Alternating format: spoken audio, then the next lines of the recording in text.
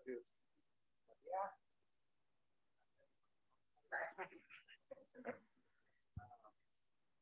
yeah, you see the title of the is the non-commutative.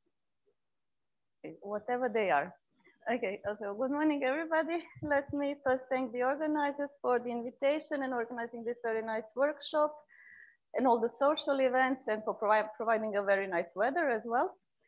Uh, so last year in Corfu, I gave a talk about uh, how to construct these braided non-commutative field theories.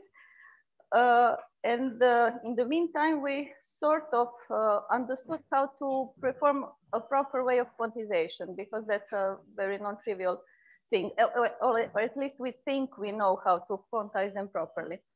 So I will speak about that work and the work is done in collaboration with uh, Richard Szabo and his uh, former PhD student Grigorios Giotopoulos and also with my colleagues from Belgrade, Voja Radovanovic, Nikola Konjik and Misha Toman.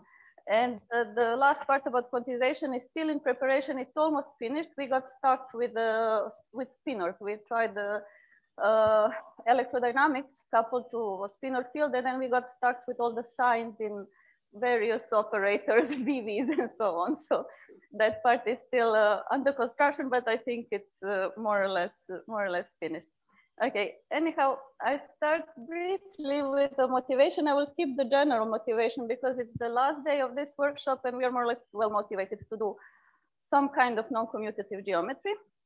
I just briefly mentioned the original motivation by Heisenberg, who uh, originally thought that it's a good idea to introduce non-commuting coordinates in order to regular, regularize the uh, electron self uh, energy which was divergent. So that was the original motivation. And nowadays we know, and we have seen through the workshop that quantization of non-commutative field theories introduces all sorts of new things. Among other things, also UV IR mixing. And uh, we have seen this example of the scalar field phi to the four interaction written with the Moyal Weyl star product. That was that's the, the, the, usual one that is also motivated from string theory and so on. And uh, the the fact, well, I'll just repeat shortly because we have seen the problem, like I like I have said. Uh, so the because of this star product interaction, there are two types of uh, diagrams: planar diagrams and non-planar diagrams, because it when you calculate like the two point function, then it depends how you contract your momenta because of the non-commutativity. It's not, it, the order somehow matters and you end up with non-planar diagrams as well. So the planar diagrams uh, behave in the usual way. They, gave, they give just the usual commutative result, which is UV divergent. So no improvement there. On the other hand, the non-planar diagrams, they give a result that is more or less like a commutative one, but has this uh, exponential factor which is oscillating because uh, theta is a non-commutativity parameter. Uh, in the commutative limit, it goes to zero. P is the external momenta, K is the momenta running in the loop, so to say. Uh, so this diagram is UV finite because of this oscillator factor, unless you put your theta to zero or you take a very small external momenta P to zero or both of them. In that case, the exponential factor vanishes and you end up with the usual UV divergence diagram. And that was termed the UV IR mixing and was first shown in this paper by Minwalla, Ram, Van Raamsdonk and Seiberg. And there are, like we have seen through the workshop, various comments, uh, various people worked on this issue starting from the beginning of 2000 and so on. Like uh, uh, Bal was mentioning, Dorothea, Bahns, and Fredenhagen and Roberts were showing that if you take the, if you define, try to define your non-commutative quantum field theory properly on this uh, Moyal-Weyl plane, then some issues are not there. Among other things, probably UVIR mixing and also issues with the unitarity if you have space-time non-commutativity. This all, that all depends how you define your quantum field theory and if you really try to define it axiomatically properly. In any case, what was uh, uh, what has been done in uh, in the like 2004, 2003, 2004, more or less, is the model of uh, Harald Grosse and Raimar Wulkenhaar, which is a modification of this phi to the 4 scalar field theory and modification is in this oscillator term, which now uh, sort of combines uh, small scales and large scales because of this 1 over theta and x. And that model was shown to be uh, completely UV finite, renormalizable, even, even it behaves better than the usual phi to the four commutative uh, scalar field theory.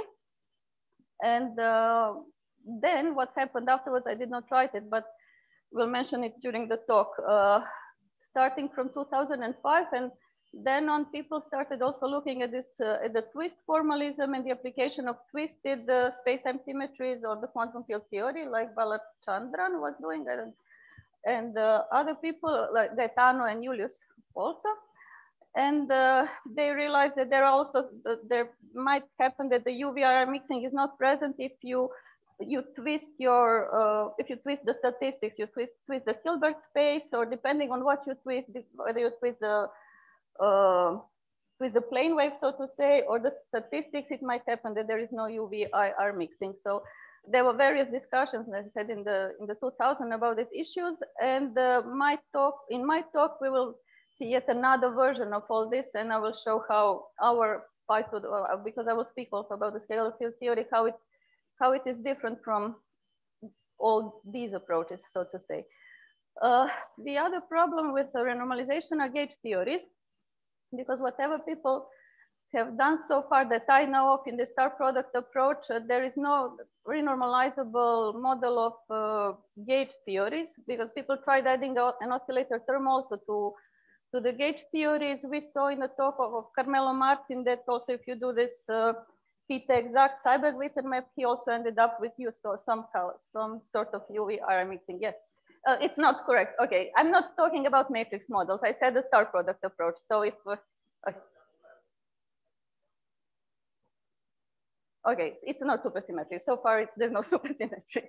okay, sorry. Uh, okay, uh, like I will probably miss, uh, no, not probably, for sure, I'm missing the references and please uh, add whatever you think it's appropriate. I, I apologize for two people who I'm not going to mention or I forgot or I don't know.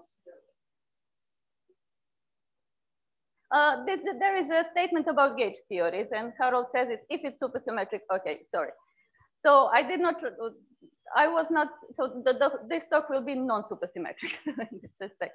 Okay, so uh, for sure I know that if you add an oscillator term to gauge theories, non-supersymmetric, it's non-renormalizable. Also the, in the discussion of the twisted symmetries, uh, gauge symmetry somehow spoiled things and you're not sure what to do exactly with this. And in that respect, also we are going to, well, I'm going to present a, a way to quantize. Uh, okay, we'll end up, we'll see that the result is not really what we hoped for, but let's see.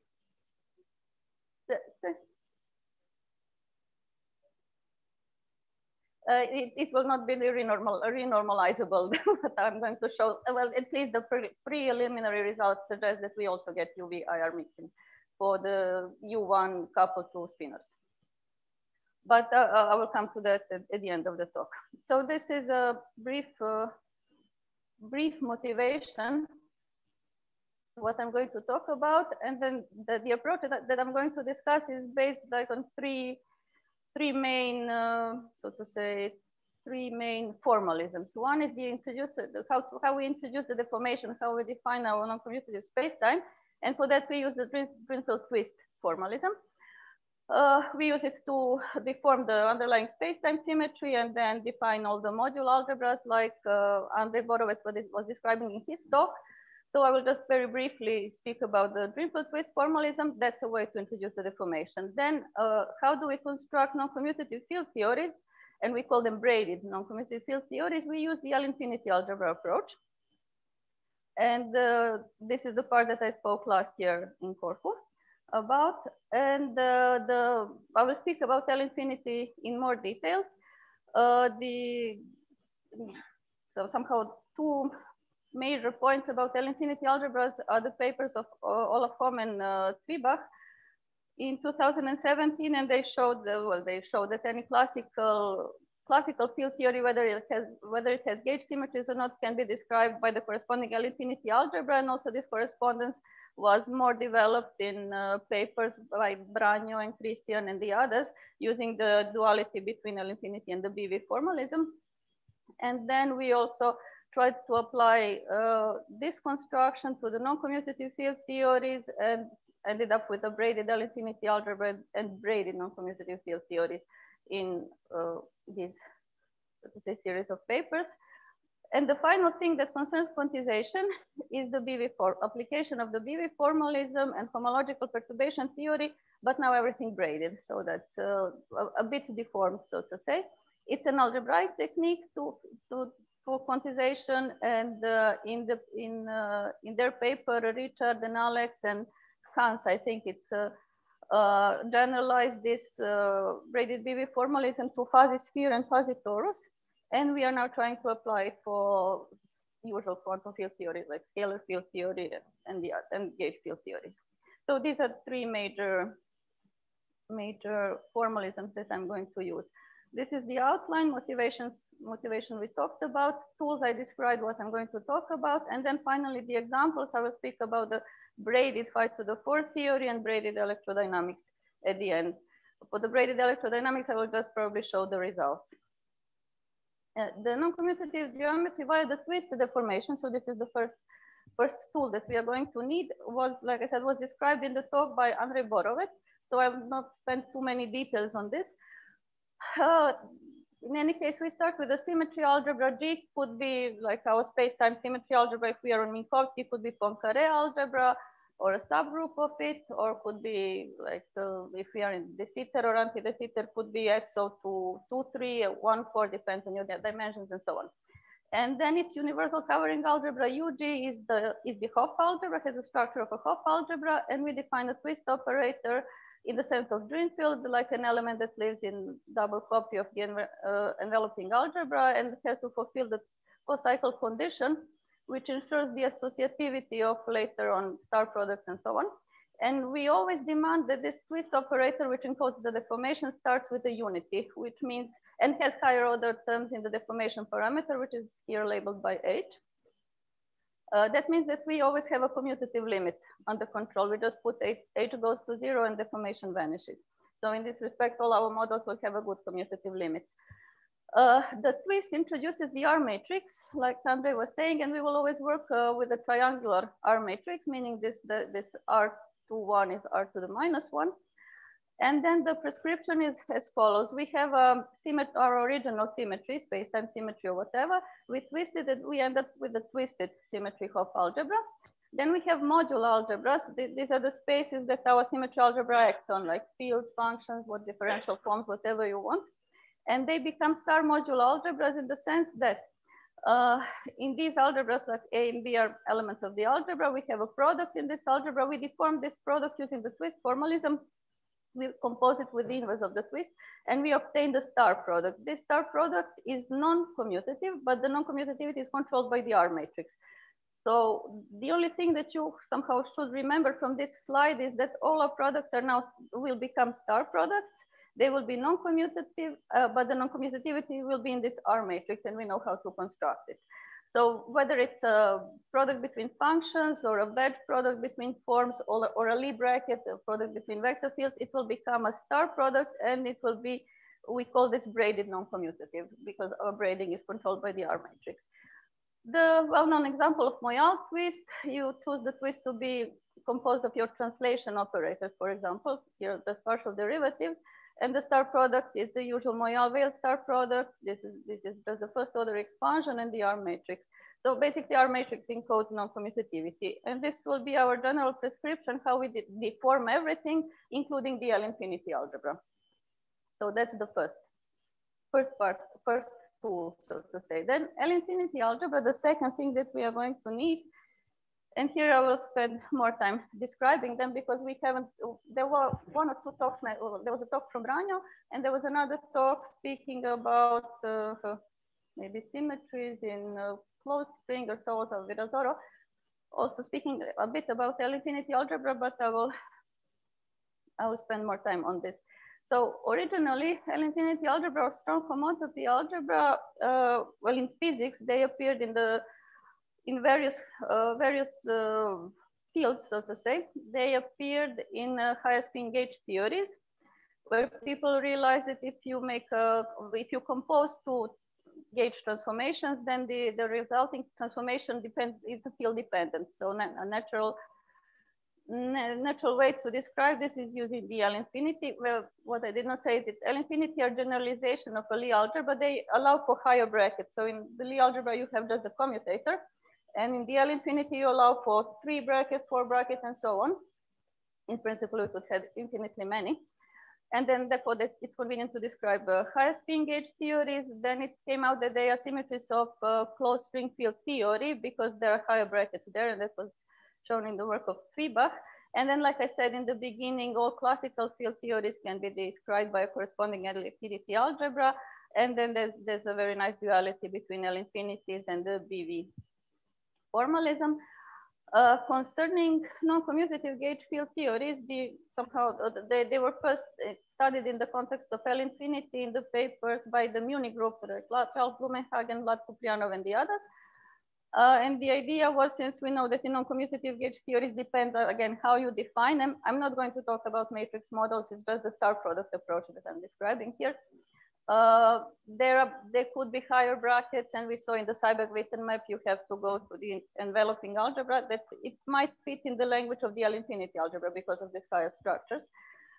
And uh, in this paper by Blumenhagen and the others, it was shown that for a Kontsevich star product, you could construct the corresponding L infinity algebra step by step. They call it the boot bootstrap method. Uh, what we do related with their work or thinking of our, our own, our original idea was basically to start with a non-associative uh, field theory or gravity with, with this R flux uh, deformation. And we thought L infinity could be a, a good way to study this, but then we ended up uh, studying first the classical Larsen-Cartan gravity because we realized that there is no L infinity algebra written for the gravity in the first order formalism. And then we also moved to the non-commutative gravity and field theory. And that is, uh, that's what I'm going to talk about in the, in what follows more or less. Okay, so uh, let me just briefly introduce the classical L infinity algebra. Uh, you don't see it here, but it's a Z-graded vector space, which we label with capital V, and it's a sum of uh, V1, 2, 0, 1, 2, 3, 4, what, however. And these are graded, uh, so these are graded vector spaces, and there are brackets which are multilinear and they are graded antisymmetric and they map an element of this V space to, to the V space again. And so this, this is the graded antisymmetric property of the bracket. When you commute two elements, you end up with a minus and the sign depends on the grading of the elements. The brackets are not arbitrary, they fulfill homotopy relations. And I just wrote the first three homotopy relations and then there are higher. In, in principle, infinitely many. So L1, the first bracket has to square to zero. And that tells us that this uh, whole space V with L1 is a cochain complex.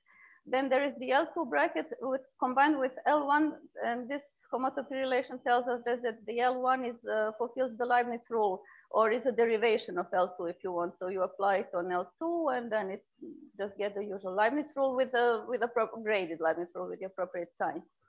Then there is a so these two are sort of normal. They appear in the ordinary Lie algebra, uh, more or less. Uh, the third one uh, also encodes the, the L3 bracket, which is sort of a new object. And then it has like two parts. Uh, the last two lines, they involve only L2 bracket and they are uh, sort of a Jacobi identity for L2 bracket. And the first two lines, they have L1 and L3. So they tell you that Jacobi, Jacobi or Jacobi identity is fulfilled up to a homotopy. So if, if there is no L3 bracket, then the Jacobi identity will be valid. If there is an L3 bracket, then it will be violated up to this, uh, these up to homotopy and so on. So this, this is the structure we have. We have the space, uh, we have brackets, we have uh, homotopy relations between brackets, so they're not arbitrary. And in addition, so this, normally we could stop here because this is, this is enough to construct a field theory in the sense of having the gauge symmetry and the equations of motion. If we want to construct an action, then we need uh, an additional structure which is called a pairing. It has to be non-degenerate bilinear pairing of a degree, usually three. This, this I did not write. And it takes uh, two copies of your vector space, gives a number. And uh, in, mo in most of the cases, in the cases that I'm going to speak about, this pairing will be an integral, basically. So The pairing tells you how to how to construct an action, basically from from your from your fields.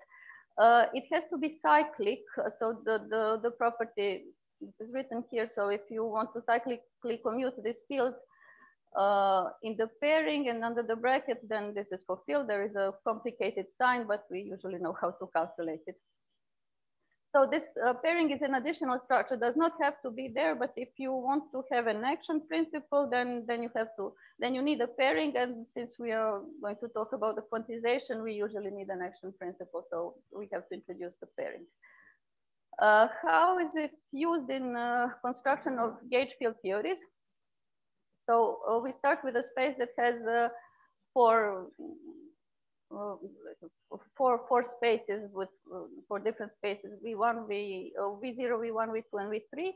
And then we say that in V1, we put gauge parameters if we have a gauge symmetry. Then in, uh, in V0, sorry, in V1, we put gauge fields or only fields if there is no gauge symmetry. Well, all the fields, gauge fields, meta fields, whatever they live in V1 equations of motion live in V2 and the second Noether identities, uh, second, second Noether because we have uh, gauge symmetry, it's a local symmetry, so we don't have a first Noether identity, which is a conservation law, but we have a second Noether identities or sometimes called Bianchi identities, and they are relations between uh, equations of motion, they live in V3 how do we uh, how do we use this? Then we, we say the gauge transformations can be written like a, an infinite sum of L brackets, and they start with L1 of uh, rho gauge parameter, then L2 of rho and A, and higher brackets depends on what you have.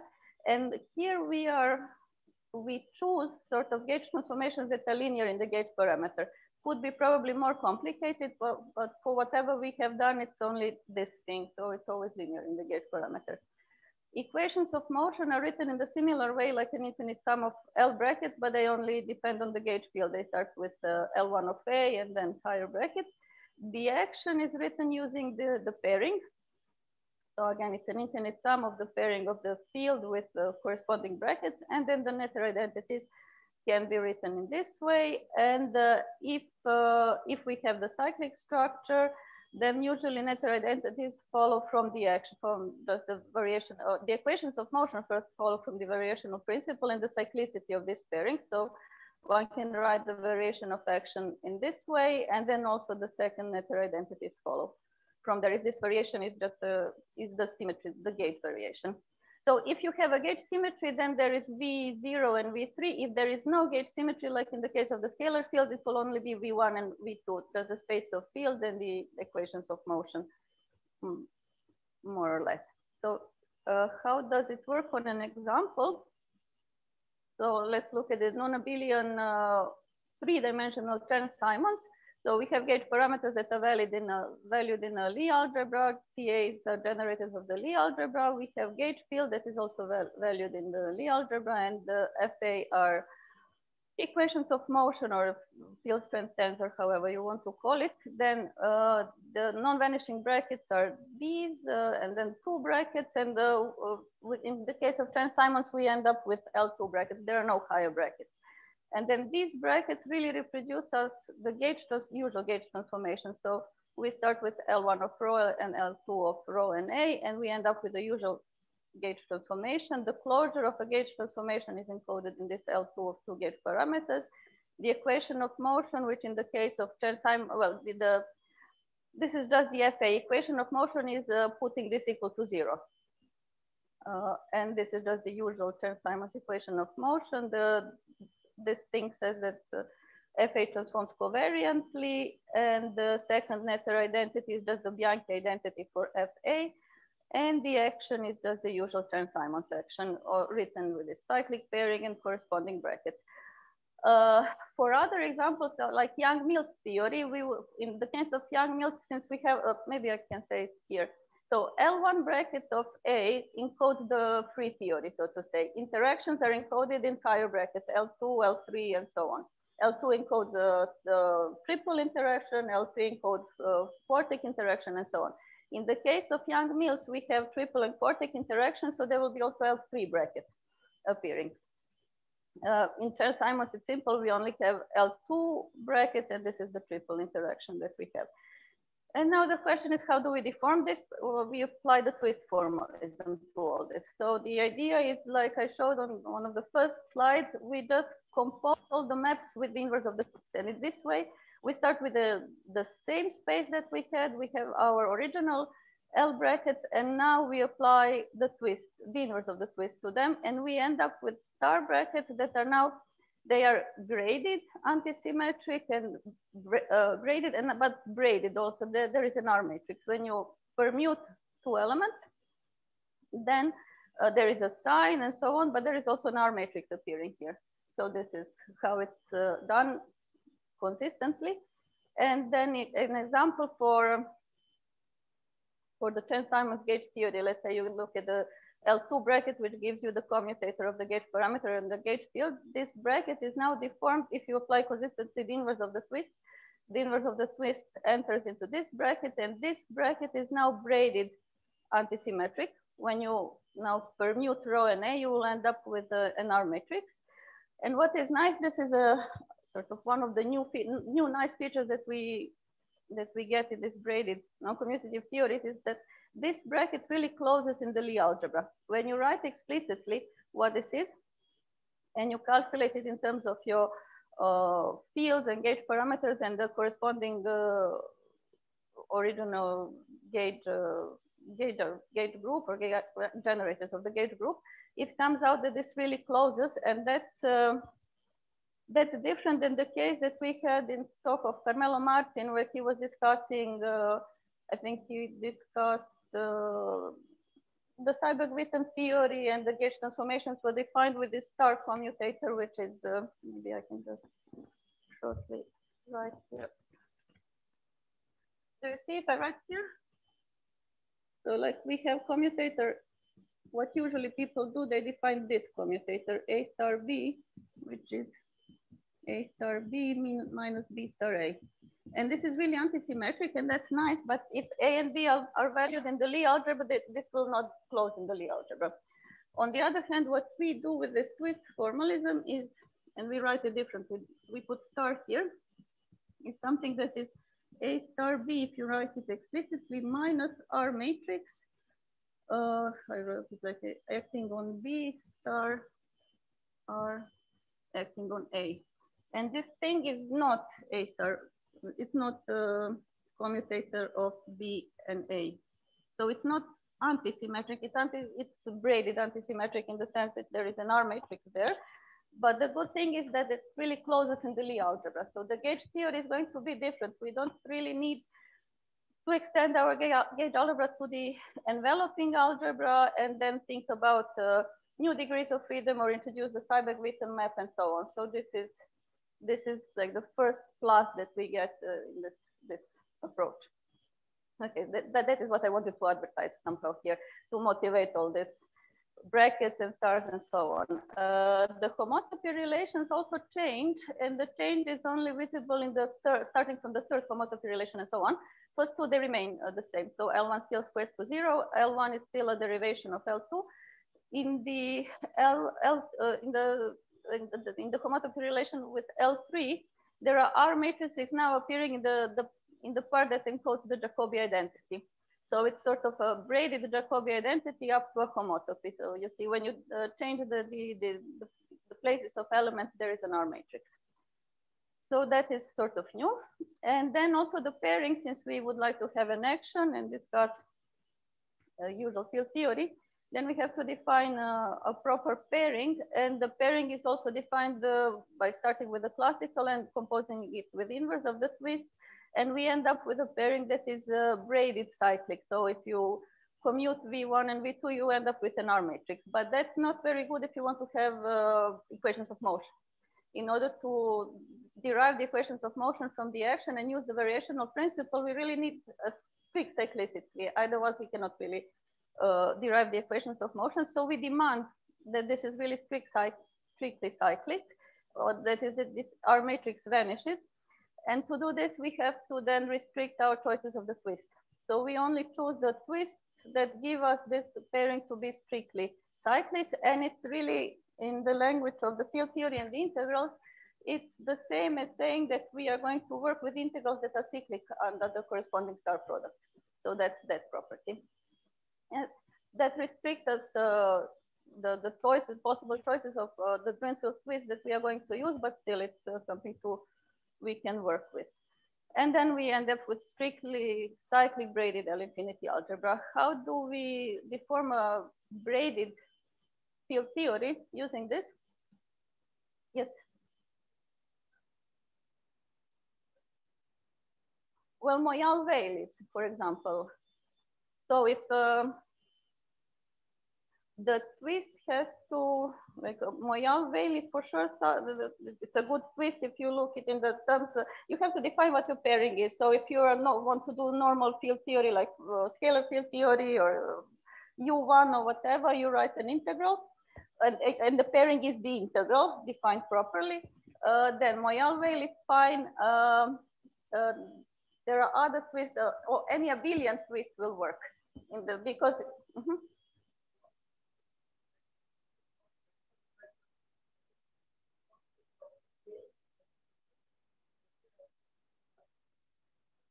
Okay, so uh, pairing is a general one. In our particular examples, pairing will be the integral. So pairing, uh, because uh, like in the examples of fuzzy sphere, fuzzy torus that Alex and Richard and Hans were discussing, pairing is a trait on something, whatever. Depends on your concrete example of field theory you want to construct somehow. I don't know if I can say it more precisely. If you have any questions, pairing is a general structure that you put out algebraically on your L infinity. It has to fulfill these properties, has to be cyclic and so on. You need cyclicity to, to derive the equations of motion from the action defined in this way. And then on the concrete examples, or the concrete examples that you want to discuss, your pairing has to be, has to relate uh, like elements from V0 and V3, V1 and V2, uh, meaning that if when you make a variation uh, in the fields, you end up with the equations of motion. And then you, for, for specific field theories, you say it, it's an integral defined in such a way, or it's a trace defined in such a way. And so on you just make a, realize it in a concrete examples. Okay, uh, field theory, braided field theory. So we use the same formulas that we that we had before. Just put all the stars in the in the brackets and we end up with the braided gauge transformations like this, and they will close in the Lie algebra if the if we we started we start with uh, a Lie algebra by itself because of this property. Braided equations of motion. Uh, in the case of Chern-Simons, we end up with this for a braided equation of motion where this commutator is now this braided commutator. It's not antisymmetric, it's braided antisymmetric, and it, this really stays in the Lie algebra. Does not we don't does not go out of the the original Lie algebra. The braided Noether identity is a bit less straightforward because, because, uh, because it cannot really be derived from an action. It's a combination, it turns out that one can derive it as a combination of homotopy relations. And the fact is it's not, it's no longer linear in the equations of motion. So either say it's not homogeneous. So it starts like L1 of equations of motion and L2, but then there are higher terms that do not involve really equations of motion or these elements from V2, but only fields. So it's a so it's a deformed, definitely, deformed braided Noether identity. In the case of Chern-Simons, you see, because this first three terms, they're just the usual one. Is if you if you take a commutative limit, this first three two, three terms, they produce the usual Bianchi identity for FA, and this one vanishes in the commutative limit. However, it's there uh, in the, the non-commutative deformation of the braided Chern-Simons. The problem with the Noether identity is the fact that, let me see, the braided gauge transformations do not obey the usual Leibniz rule, but they obey the braided Leibniz rule. And in this way, they are uh, different than the variational principle. So you cannot really combine the variational principle and the braided gauge transformation to derive the the Noether identity from, the, from an action. That's a bit of a problem. Uh, and that is why uh, one has to construct it really as a combination of homotopy relations and check if everything is consistent and that, that we have done. And there is a closed formula, oh, well, not closed, but the formula up to any order in this L bracket. Uh, and that it, it works. It's just you cannot really derive it from an action because of this braided Leibniz rule. So this is a summary of the Chern-Simons. Uh, the action, the well, the action once you. Uh, so here is the, the example of the of the integral or, or the pairing. Oh, okay. I'm going to speed up. The, just for Paolo, uh, the pairing now in this case has, has an integral and also has a trace over the gate group. So you have to define it in this, this way. Uh, gives the, the, the, the proper equations of motion and so on. And uh, I commented on the, on the second Noether identity. And let's say that it's concerning the braided gauge theories. How do we quantize them? Here I'm going to be very, very brief, let's say, because I have only 10 minutes more. So the idea is, uh, is, uh, is more or less this. We start, uh, we use the algebraic techniques and we follow the approach again from Branyo, Christian and the others using the duality between the BV formalism and the approach of Costello and Gwilliam and uh, what uh, Richard, Alex and Hans did uh, last year is to uh, generalize these approaches to the fuzzy sphere and fuzzy torus. So these are also braided field theories, they are finite, but then they, uh, they realized how to, how to extend the BV formalism and the homological perturbation theory to the braided case. And then we were just trying to generalize it to usual ordinary quantum field theories on Minkowski. Uh, we start, let's say we start from our favorite L infinity algebra with braided L infinity algebra with the space bracket pairing. And then we should discuss observables. And then we have to extend this structure to the symmetric algebra because we usually we are uh, interested in calculating correlation functions or some scattering amplitude and so on. So we need polynomials of, of fields more or less. And that is why we, in the first step, we have to extend our L infinity to the symmetric, full symmetric algebra. And uh, maybe I skip this. I just say that this step is sort of analogous uh, to the step when you want to extend the ordinary matrix Lie, gauge Lie algebra to the space of differential forms. So it's just uh, how do you how do you extend this the, the notion of this commutator to the space of differential forms? So it's more or less like this. How do you extend the brackets from the original space to the full symmetric algebra. And also you have to extend the pairing. So this is the first step. Using this uh, symmetric algebra, you can construct the full BV action. And this BV action has a zero, uh, has the, the, encodes the free theory and the interacting theory. And then uh, it also defines a bracket. I'm not going to discuss properties of this bracket. And uh, anyhow, you can construct the uh, algebra of classical observables, which is a symmetric algebra. And uh, your uh, uh, Q of this bracket and the Q operator, which is defined with L1, which encodes the free theory and interacting theory from the BV action. How do we quantize this? We have to introduce the BV Laplacian, which encodes basically the, we'll see the braided Wick theorem. And then we construct the full BV operator, which uh, L1 encodes the free theory S interaction encodes interactions and we'll get vertices from there and the BV Laplacian encodes the quantization and get Wick theorem from there. There are all sorts of properties of these maps uh, and uh, I'll skip them for the moment. Uh, we can discuss this later. Anyhow, I'll repeat once again, the braided BV Laplacian will give us the braided Wick theorem and in S interaction will give us interactions. So how is it done? We use the homological perturbation theory and homological perturbation lemma. And uh, these, these, these pictures more or less Branyo showed in his talk.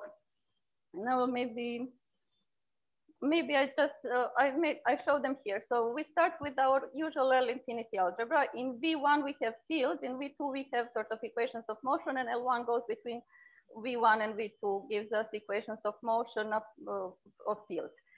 Uh, then we have an inverse of L1, which is this small h, and we call it contracting homotopy, and that basically encodes propagators. Then from V1, we can make a projection to the space of physical fields, meaning fields that fulfill equations of motion, modulo gauge transformations if we have a gauge symmetry. So this is this P projection. There is an inverse, inverse, uh, inverse map, but for the moment, I don't care about this.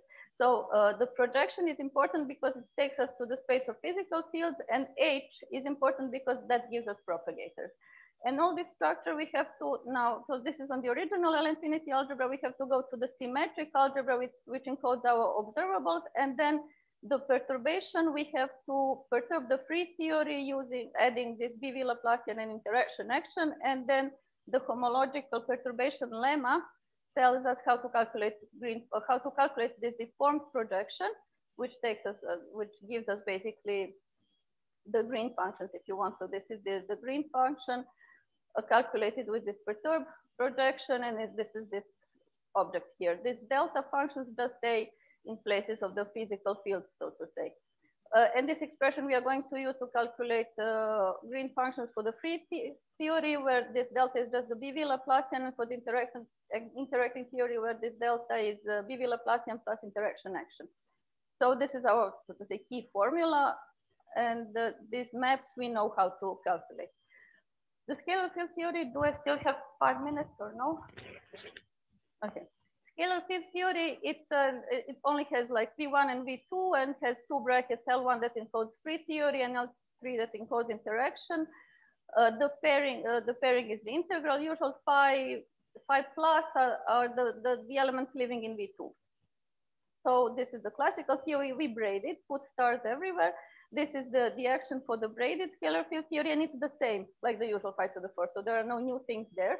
What is new is the application of the L infinity approach. So uh, ignore the maps, doesn't matter. In the case of free theory, because of the, this BV Laplacian that is now also braided, BV Laplacian, we end up with a two, well, two point function is just the usual propagator, but the four point function encodes the braided Wick theorem. So we get R matrices here when we consistently apply all these techniques. And uh, in the case of the interacting theory, we have to construct, construct this L interaction, as interacting action using the extended L infinity algebra. And that's uh, really something new because we were stuck with these things until we realized that. And then the interaction endpoint function, we just apply formulas and we end up with a two point function at one loop, which is completely classical. So there are no non-planar diagrams and there is no this oscillator factor it vanishes. And this result is in, uh, co corresponds to the, the, the, the, statement that, that Oeckl made in his papers in the beginning of 2000 because he, he was saying that if you have a non-commutative field theory and you have non-commutative braided statistics, then that's equivalent to the commutative field theory. He had this diagram with arrows and one of the arrows was, that, was this non-commutative field theory with non-commutative statistics ends up in the commutative theory. Of course, this is a result only for two-point function, one loop. So we have to check consistently if we stay with local statement for higher loops, different diagrams, and so on. And but this is somehow it's uh, it's nice. It really corresponds to this, and also corresponds to discussion, like I said in the beginning, with papers of Balachandran and the others, people from Korea, and also Gaetano and Julius uh, had similar similar ideas in their paper from 2007. So this is a nice result. The thing that is not so nice is the electrodynamics. So I'm, I skip all the details about the L infinity and the formations and so on. I just showed the braided action, which looks like this. This is the vertex between photon and, uh, and electron, if you want. Uh, this F nu nu is completely abelian. So because, like I said, like I said, the braided uh, gauge transformation, they stay in the Lie algebra. In the case of U1, they will stay abelian. That means that in our braided electrodynamics, uh, we don't really, photon does not interact with itself. So there is no, no interaction, photon, there are no photon-photon interaction, three or four, whatever. And also ghost, oh, sorry, once again, ghosts completely decouple because it remains an abelian theory. So ghosts do not interact with the gauge field in this respect, we are we, gauge sector is completely classical. The interaction is here with the fermions, and it has now this term with the R matrix. So it's sort of instead of having an exponential factor, we have a cosine here because it's sort of totally symmetric. We calculated using this homological perturbation theory the two point photon two point point function at one loop and we ended up with this result. So this is still, it's not full because there are traces of gamma matrices and so on. This can be written now further on in terms of Bessel functions and check the divergence is exact, exactly. But the point is that we end up with this oscillator factor here. It's not an exponential, it's cosine here, but still it's there. And if you take a limit of theta going to zero, or the external momentum, p goes to zero, this is a classical result. So we end up again with the UV IR mixing. Uh, the origin of this thing is different now because there is a fermion bubble, which normally in this star gauge theory, okay, done. Star gauge theory does not, does not give contribution at all. In the ordinary star electrodynamics, photon interacts with itself. Uh, so there is a diagram with a photon propagating here in this loop, and there is a photon like a tadpole, and there is a contribution from the ghost as well, because not in there they don't decouple. But fermion bubble does not give a non-commutative deformation. Here we only have a contribution of the fermion bubble and it gives a non-commutative deformation and it seems that it gives the sort of UV IR mixing. And that's computing. We did not expect that and we would like to understand this better somehow to check what happens at higher loops, to maybe recheck our calculations. So let's say that this result is still pre preliminary, just because we're not happy with this. we hope it could, it could get better. So finally, uh, just brief, briefly to summarize. So we, uh, we can construct uh, braided non-commutative field theories using the Drinfeld twist formalism L infinity algebras, and we know how to quantize them using this algebraic tools of the BV formalism and the homological perturbation theory. What we would like to, that there are some nice features like we don't need the un universal enveloping algebra for the gauge theories. We can stay in the Lie algebra. And it seems that uh, UV IR mixing is not present in the scalar field theories. If a gauge symmetry is a problem, in my opinion, it would be interesting to see uh, interacting field theories without gauge symmetries like Yukawa, for example. We could try looking at this and see if there we get mixing, uh, and it's, if it's really related with the gauge symmetry or it's related with just having uh, more than one field. Uh, let's see what happens there. In any case, our future work is uh, to understand better the properties both of classical braided field theories and of, of quantum braided field theories and uh, try to give some more answers in respect to quantization in general of the non-commutative field theories. Sorry if I went over time.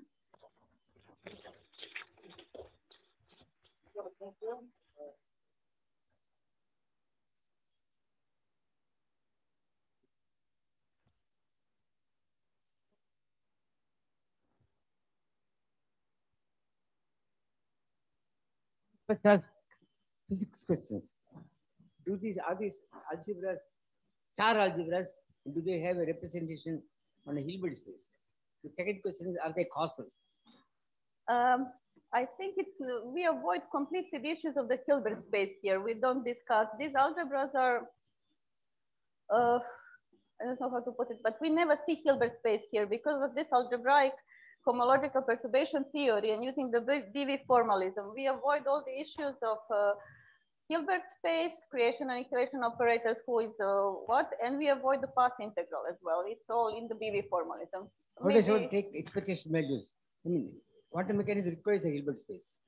I don't care about perturbation theory or uh, but it, uh, you do because it gives you the results. It gives you the correlation functions. You basically what you want to calculate in the end, you want to calculate your correlation functions and you want to calculate some scattering amplitudes for your processes. No, it, it's enough to, to do the homological perturbation theory. You just uh, it's a BV BV formalism approach. It's fully algebraic. It's known in since the 70s or 80s more or less and it's now revived using the L infinity approach. You need a positive linear function normalized to one on the identity of algebra. Once you have that, you have a GNS construction. So what is it? Uh, I, I, I, could say that I don't know what it is because we don't use it. Uh, Brian and Christian might help me. The second question is, gauge invariance in UN case mm -hmm. was proved by Weinberg to come from the lack of an intertwiner between the stability group or the group of the photon master particles and a covariant representation in SCP. Long ago in his book, for example. So that's classical yeah. result. So now there is a formulation where the representation is directly on a Hilbert space, quite rigorously, but they are fields localized on cones. So they are mm-hmm. not local fields in the usual way, but they are fields localized on cones. And algebraic quantum field theories have a formulation.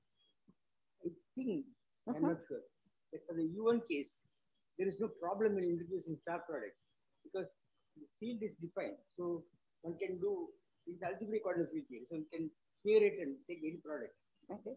I think that there is no such problem as gauge invariance there because there is no gauge invariance. It's gone. Everything is on a Hilbert. Uh, so there is no no Krein space, no nothing. No, okay, it's not a problem of maybe not the gated reality, it's a different theory that we get in this way with the L infinity approach and the one that, that comes out if you do the star commutators in the usual way. It's just if you get an interact of uh, three or four photon interaction or you don't, depends on somehow. It's a, these are two different models. Uh, also with two different symmetries essentially because the, the, the, star symmetry has the usual Leibniz rule, it's different and our braided gauge symmetry has a braided Leibniz rule. So these are these are just two different models, if you want. Maybe. Two different ways of defining deforming you want. Jens Mund and Gracia-Bondía mm -hmm. have been writing papers where they have developed the uh, perturbation theory using this these localized on cones mm -hmm. for QED. Okay? Mm -hmm. And they get the usual series, but somewhat with better convergence because the certain dimension of a certain field decreases. Okay? So they, Uh, convergence is better and they can do renormalization and it gives you the standard results like G minus two, whatever. Okay?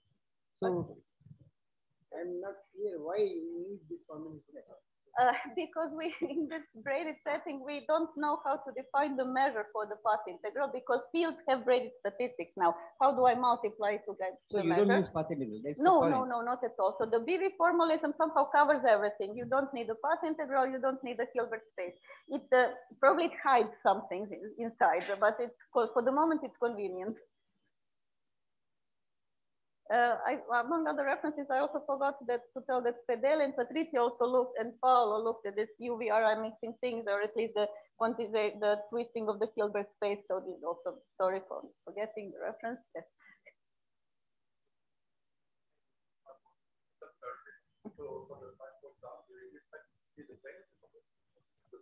Uh, I think so. That, that, that, that's, the, that's the expectation. We are curious to see if, if it really, because that's the statement of Oeckl, really, the full statement saying that non-commutative uh, field theory plus non-commutative statistics, which we have now is this braided setting because of the braided Wick, braided Wick theorem encodes the braided statistics.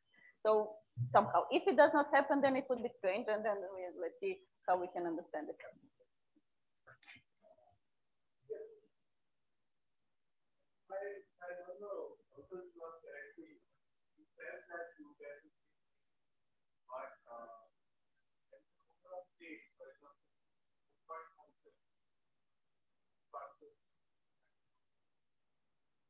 Uh, if uh, okay. Okay, that's a statement concerning scattering amplitudes. And we haven't looked at the scattering amplitude so far. We only looked at the correlation functions. So correlation functions are so far the same. Scattering amplitudes, we have to check. It might happen that it's, it's uh, since the, the statement uh, for the concerning correlation function is corresponds to the Oeckl statement, then probably the scattering, scattering amplitudes, one should expect that, it corresponds, but we haven't looked at the amplitudes because for the amplitudes, we have to change the projection because for correlation function, we project just to the usual vacuum and nothing. The projection is trivial. For scattering amplitude, we have, we would really have to project to the physical state and then calculate differently. Uh,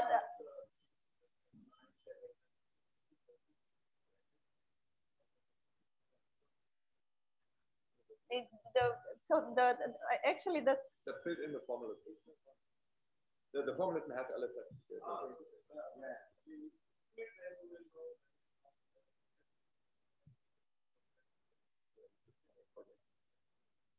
Uh, in the correlation, we don't see it in the correlation function. It's completely that this uh, 2.1 loop is really the same as the classical one because somehow the interact the, the phases from the interaction action kill the phases from the braided VV, VV theorem and it just reduces to the commutative one.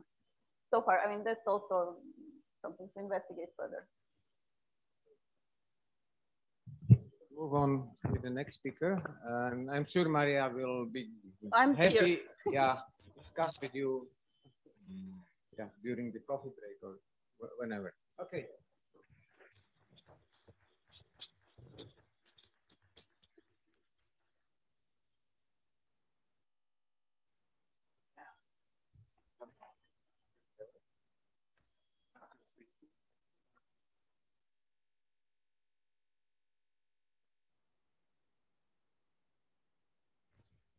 No,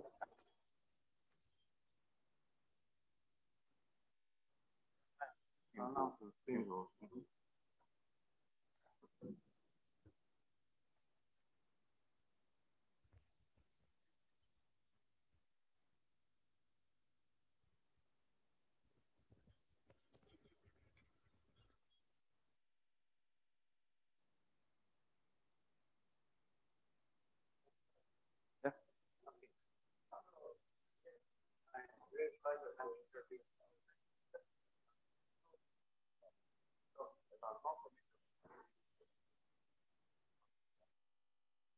Thank you.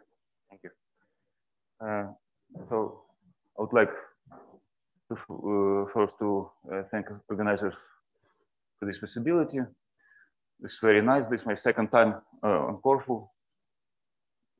Like it the same as the first time. And so, so anyway, uh, let us start. So today I will talk about some little exercise uh, which we decided to do, which actually took like five papers to solve that exercise. I mean, so, uh, but any case, so mostly I'll be talking about this part, uh, essentially because I, uh, I, don't know much about this part, and, and, actually there's no universal consensus about this part. I mean, uh, so more or less, I mean, uh, the main the main part will be like motivation. Why we uh, care about this exercise? Because being an exercise, I mean, uh, the solution is uh, technical, technical in very primitive way, just really some commutators, integrals, and all this stuff. So, and this is, uh, as I said, uh, several papers in collaboration with different people, mostly with Al Stern. Fedele also participated in one part of this of this project, and a couple of our students. so anyway, just very quick reminder what, what, what are those spaces. I mean, so it's really just kind of a table, schematical table uh, about the maximally symmetric spaces. Typically, you think of them like being embedded in some uh, d plus one dimensional space. And depending on essentially uh, on the radius, you classify them. Ra radius and signature, whether the signature uh, has minuses, does not have minuses and all the stuff. And, and this is some center stuff, uh, the topology. So, but what is curious uh, about two dimensions, that the isometry groups in two dimensions uh, for three or four cases is essentially the same, right? I mean, so by three cases, I mean the following. The de Sitter space, anti-de Sitter space, and Euclidean uh, anti-de Sitter space. so which means that uh, uh, actually something something uh, funny should happen in two-dimensional case. I mean, so and that funny really happens. Uh, so here just some standard uh, standard parameterizations of two-dimensional space. This is the, the, the Euclidean, uh, the, the Minkowski two-dimensional space. So uh, here, pretty much the same thing happens as in any dimension. Uh, you have some uh, close uh, kind of like uh, contours, and you have to decompactify. So you, you have to go to universal covering. But I mean, this case for the purpose of ADS CFT correspondence. I mean, I'm not selling ADS CFT correspondence, so we just uh, uh, really were curious how far you can push uh, this uh, this correspondence. And then, uh, so for for the case of ADS CFT correspondence, apparently what people need, they need the Euclidean version of ADS, so which I will describe later. So first, so just some standard argument, which this audience, of course, I mean, knows very well why would you like to fuzzify everything? I mean, so I mean, so it does not uh, seem like uh, like whatever you see commutative, like let's make it non-commutative. But the point is that because I mean, uh, especially in this particular case, ADS CFT supposed to take care of quantum gravity and all the stuff, and uh, then you, you, involve the standard uh, argument. For example, I don't know why I started with Fredenhagen, so it's Doplicher Fredenhagen Roberts. Uh, which kind of actually model independent, right? I mean, so essentially, if you try to make some operational meaning of a point, try to measure it, I mean, that's it. I mean, so at some at some regime, typically like Planck uh, scale, if you think of quantum gravity uh, kicking in at Planck scale, uh, you would start losing control over points. So it, sh should be some kind of modification of a geometry.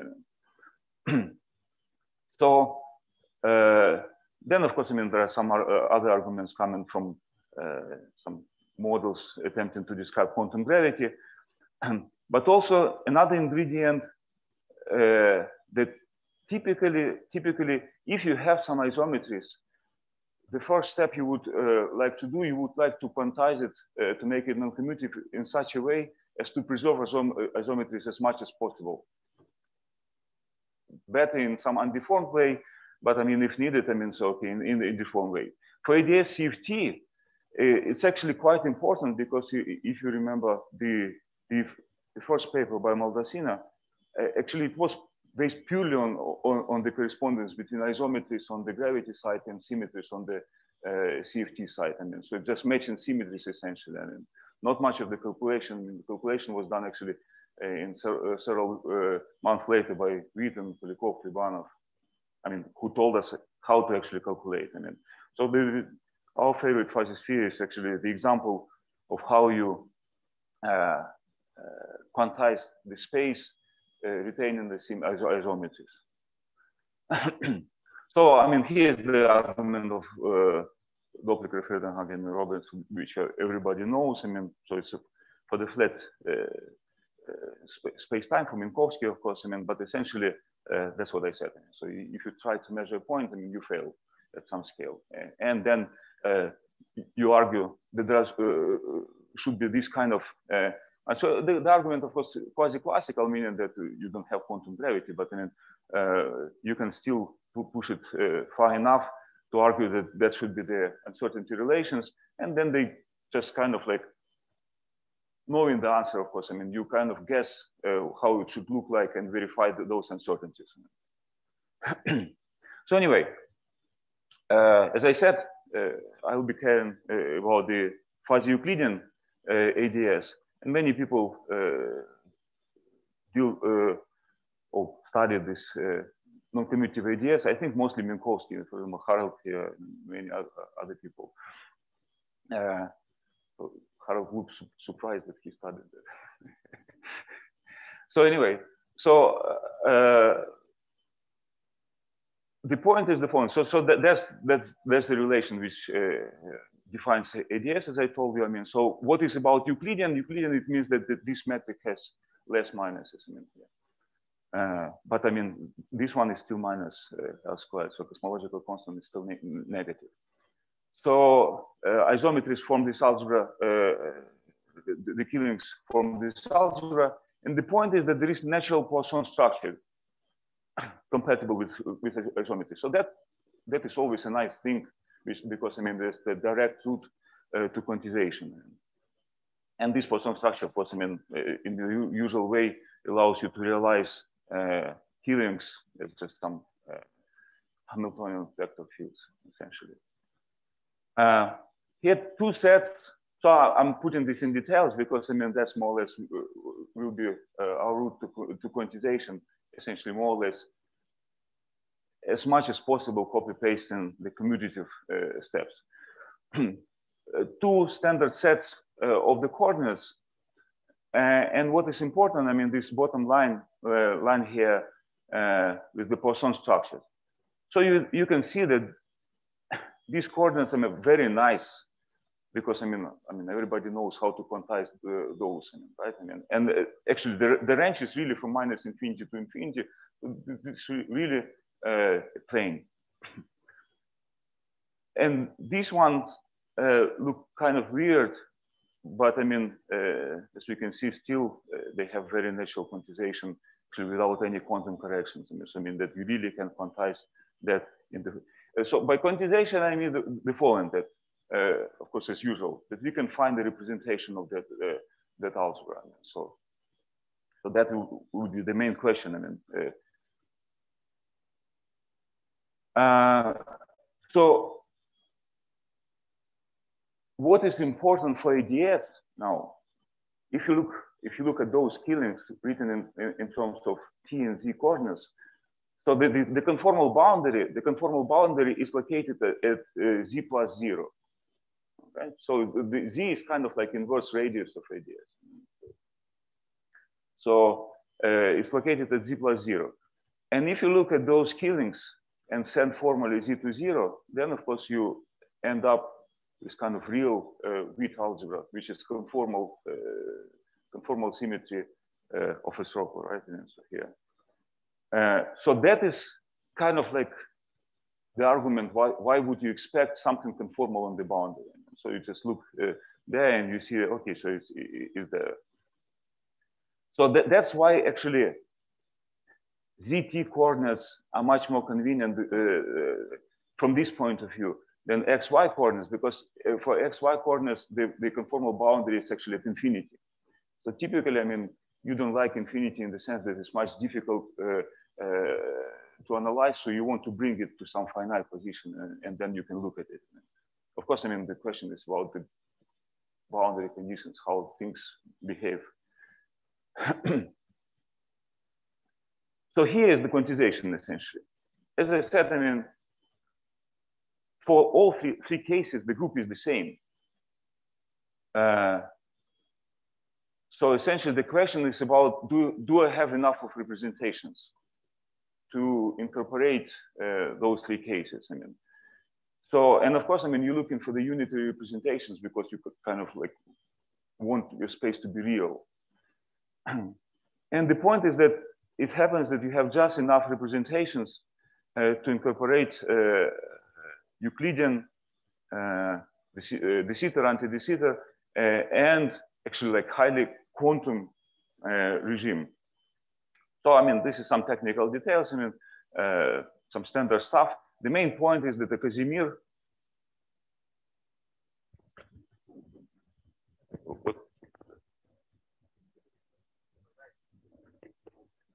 I'm to the right. Okay.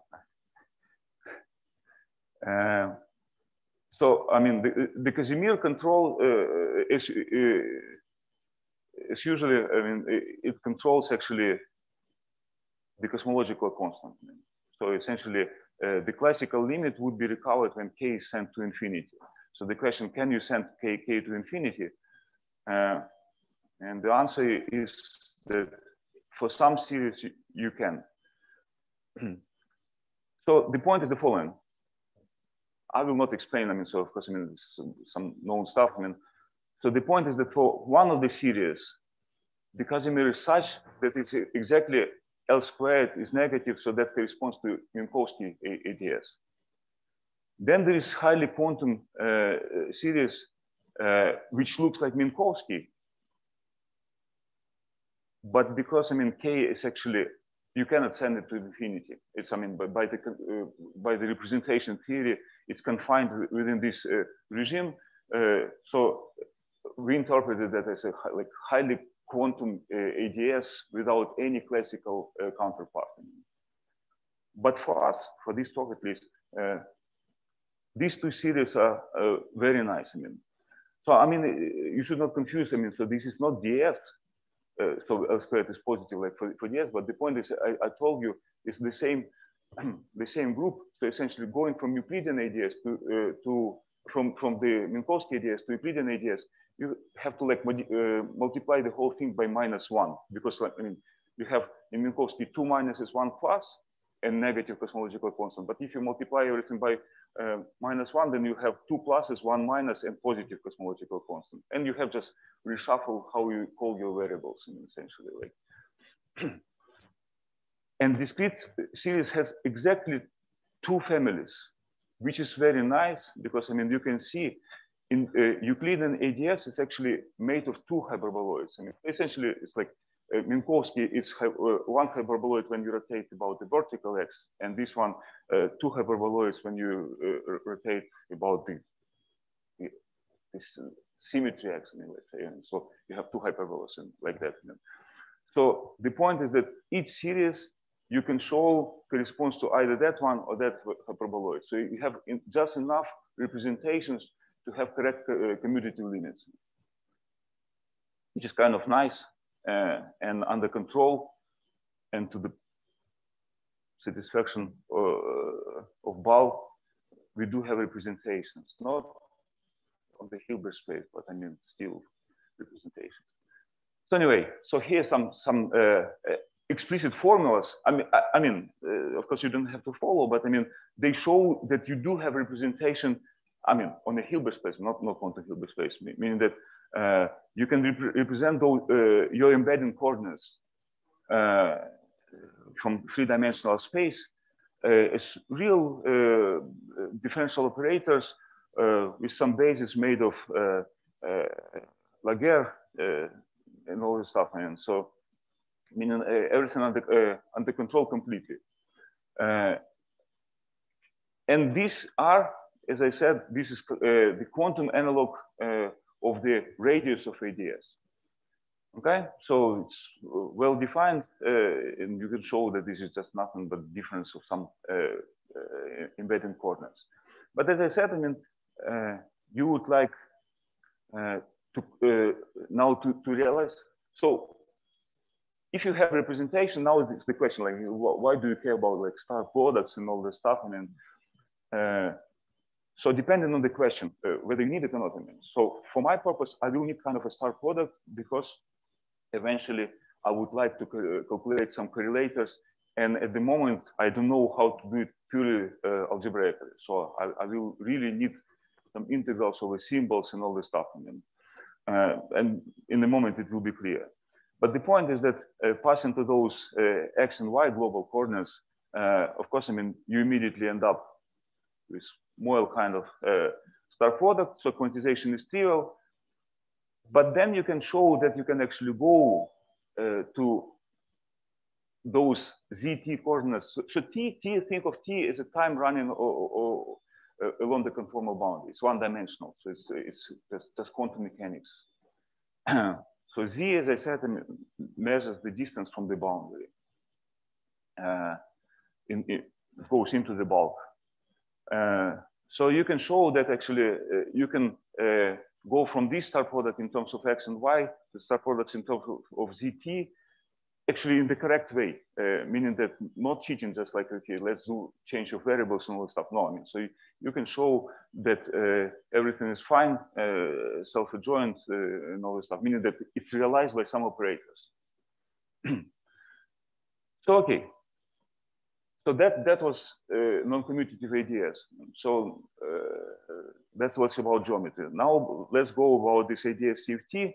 So very brief uh, dictionary, uh, the classical one. Uh, once again, so we just believe, for example, that it's supposed to work. So how it's supposed to work? The simplest case uh, of the scalar field, of course, is, is like that. I mean, so you, you put, you think of, it, of, of, of fields over ADS background is some perturbations essentially.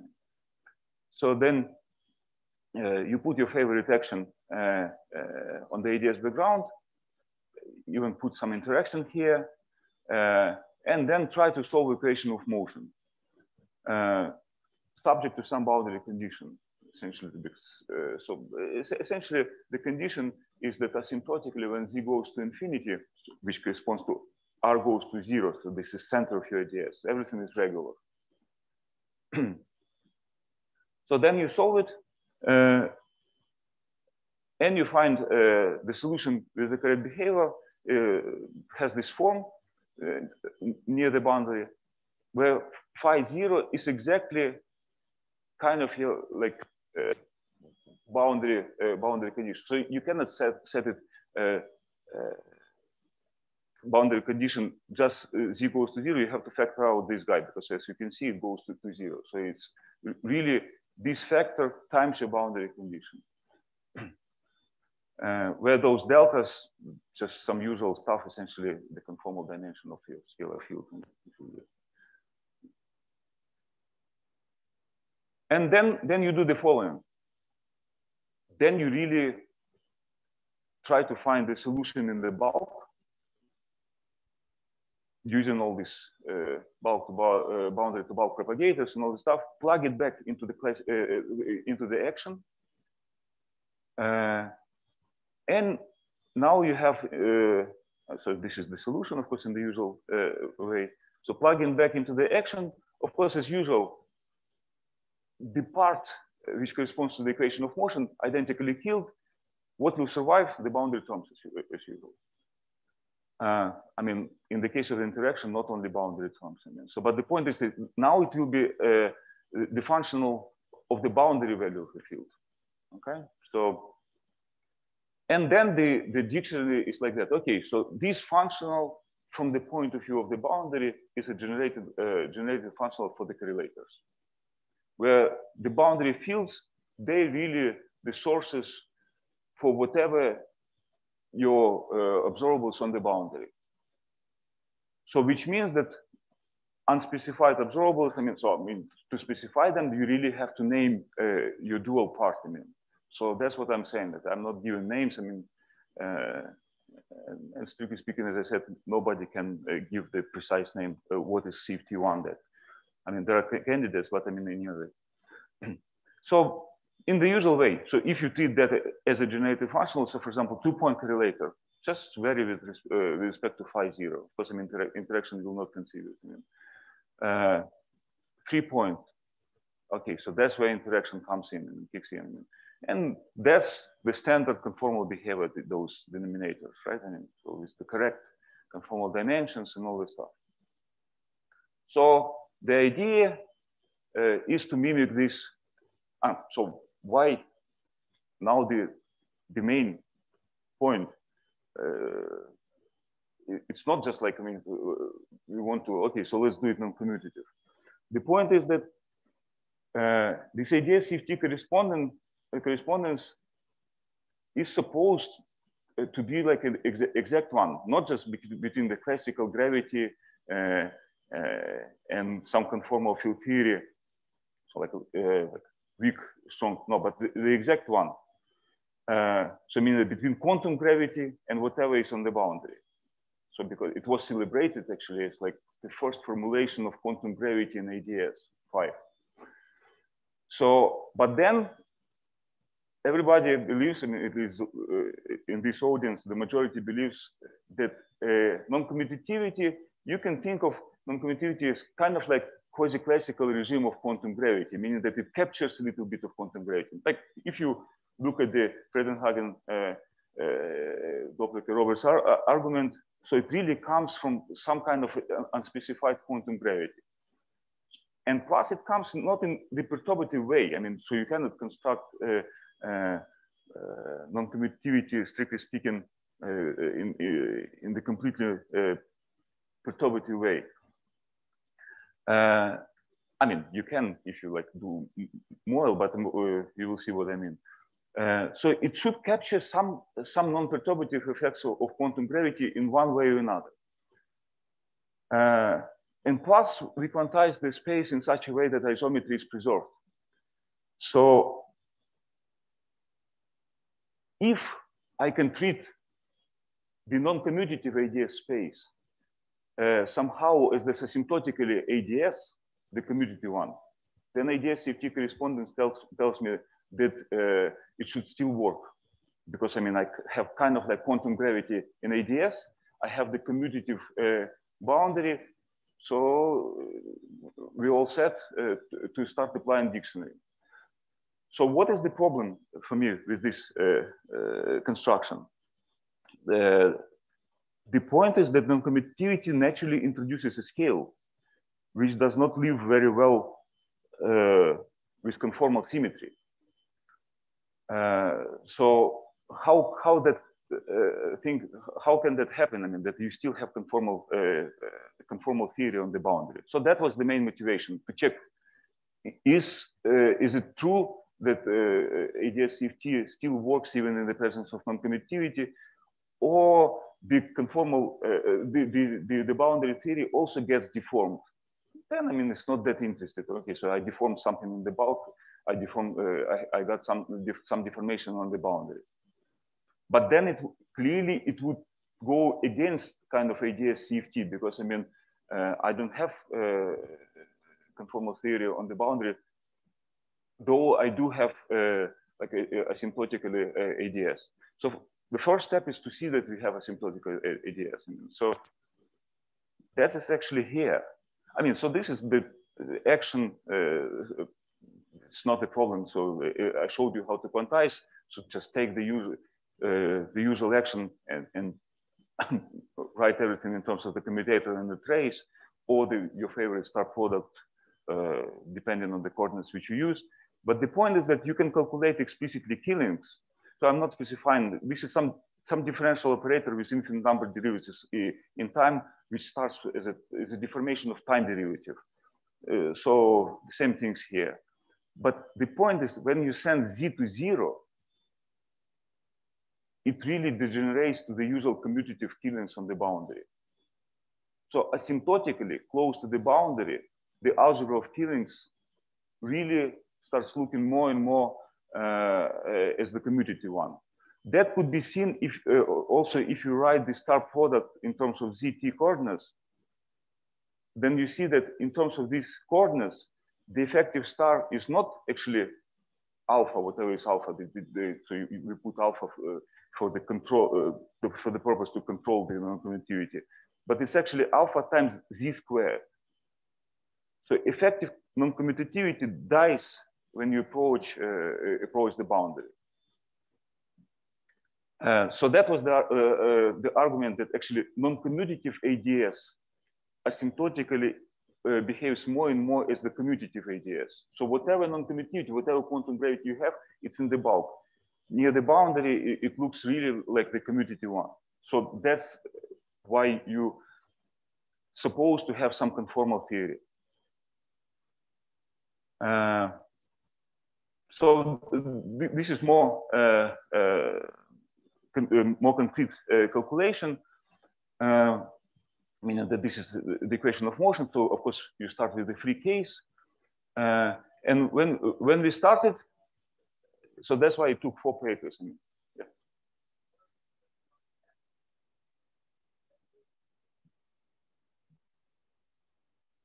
I say more loud.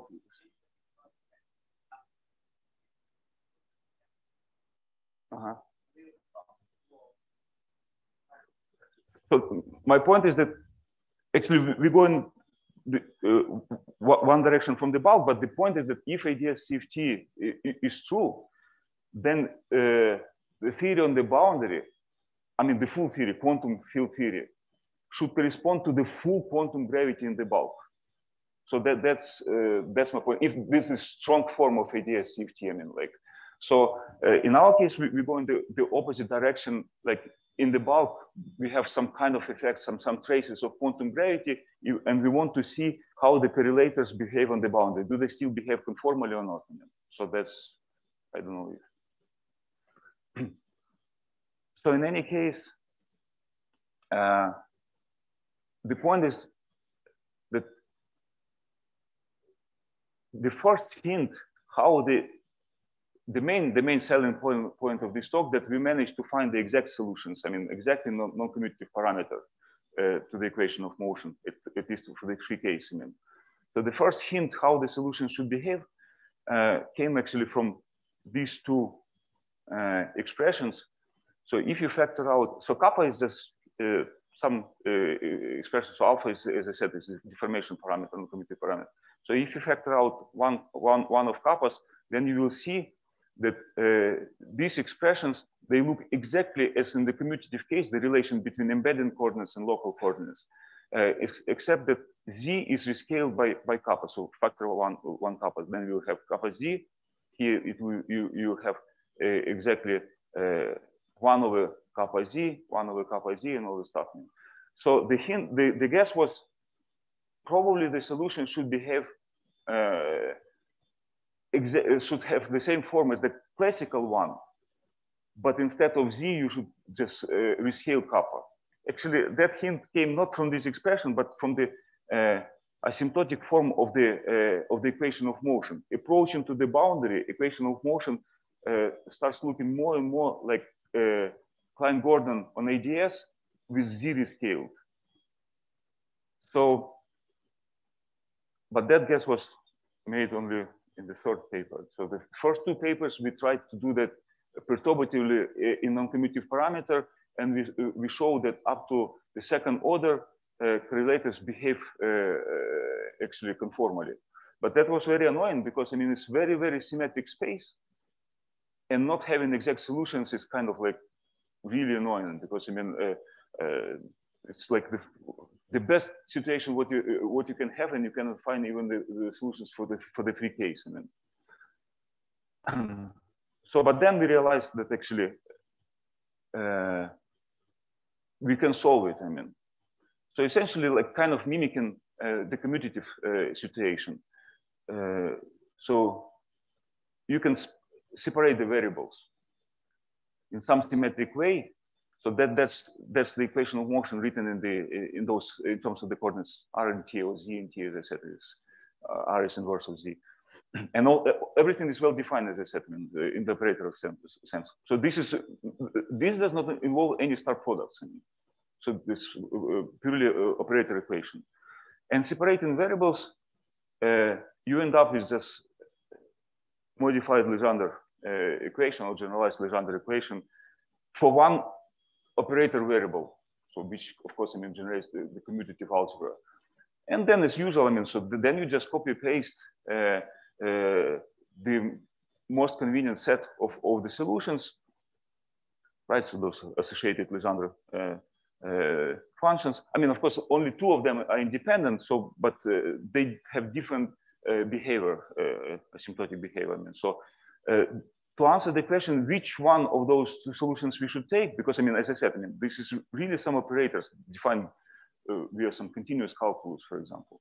Uh, you, uh, you have to compare that uh, with the uh, classical limit, which will tell you which solution has the correct classical limit, which, which one you should uh, pick up.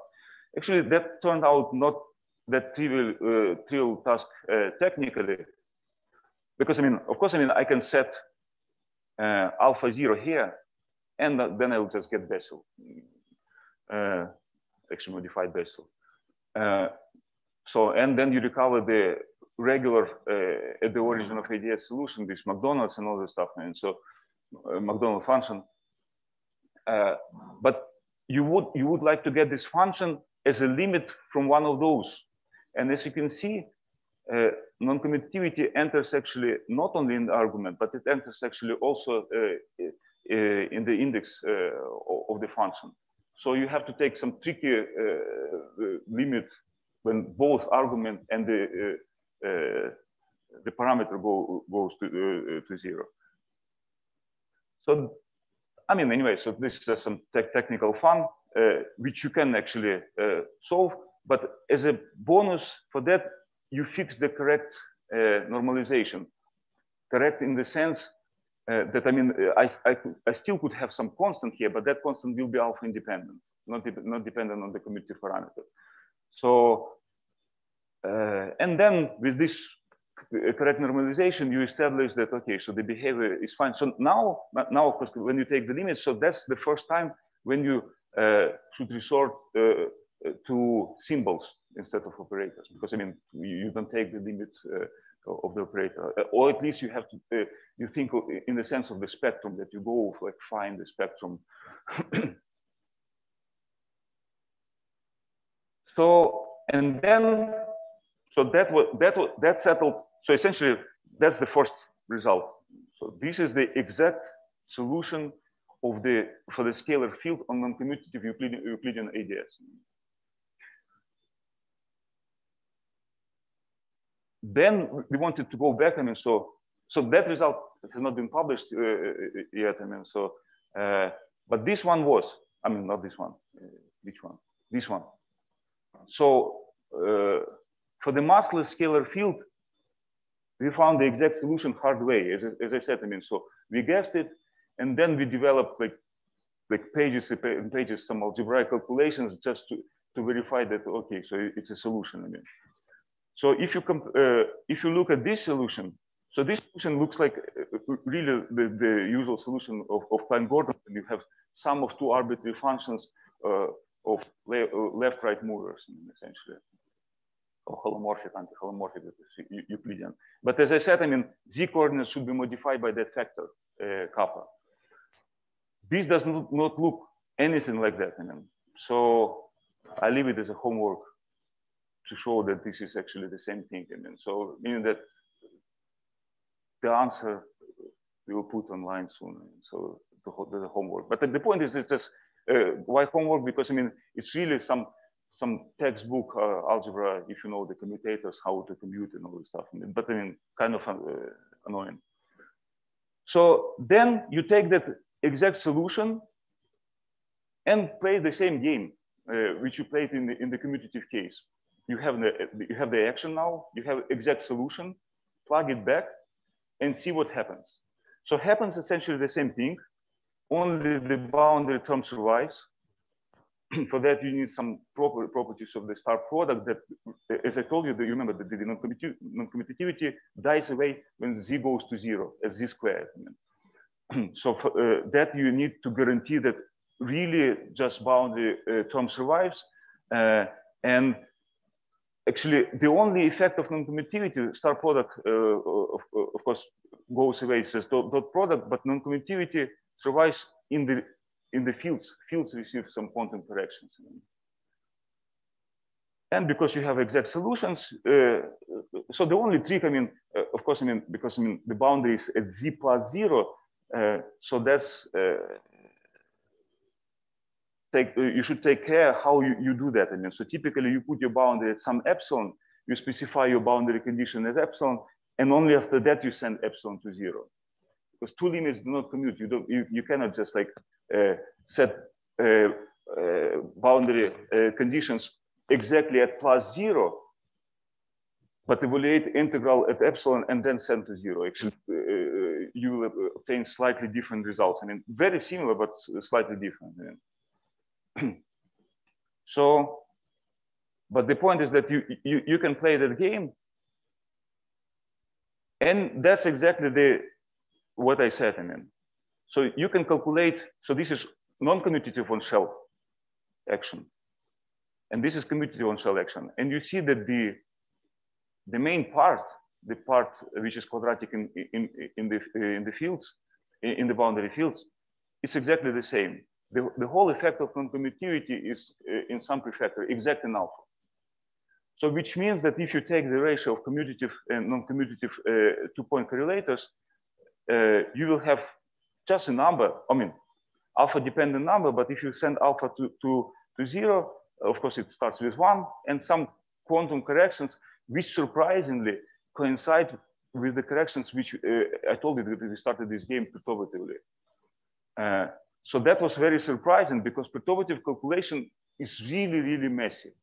When we did it, I was sure that we, we made a mistake, but I was also sure that nobody is going to verify it. I mean, so we just said, okay, so it's fine. uh, uh -huh. So, but the, so, as I said, surprisingly, uh, it's actually the same uh, it's slightly different, but I mean, like we, we explain why, why it's different because we use different uh, connection essentially. But uh, otherwise, the calculation is absolutely perfect. Uh, so, at least for the massless case, we can say that actually the whole effect of non-commutativity, uh, bulk non-commutativity, is kind of like uh, rescaling of the fields, the fields will be uh, renormalized. So, I mean, renormalized in the classical sense. So there's no uh, like quantum calculation. So this is really like uh, correspondence between classical uh, field theory on non-commutative uh, space and some some uh, some quantum theory, quantum on the boundary because quantum because we, we do calculate correlators and from there. Uh, and the be behavior, uh, so nothing receives, uh, nothing conformal receives any corrections, no conformal symmetry itself, and even the conformal dimensions, they remain exactly the same. So which is, as I said, uh, kind of surprising because we, we, thought that we will get corrections. For the interacting case, we can say much less.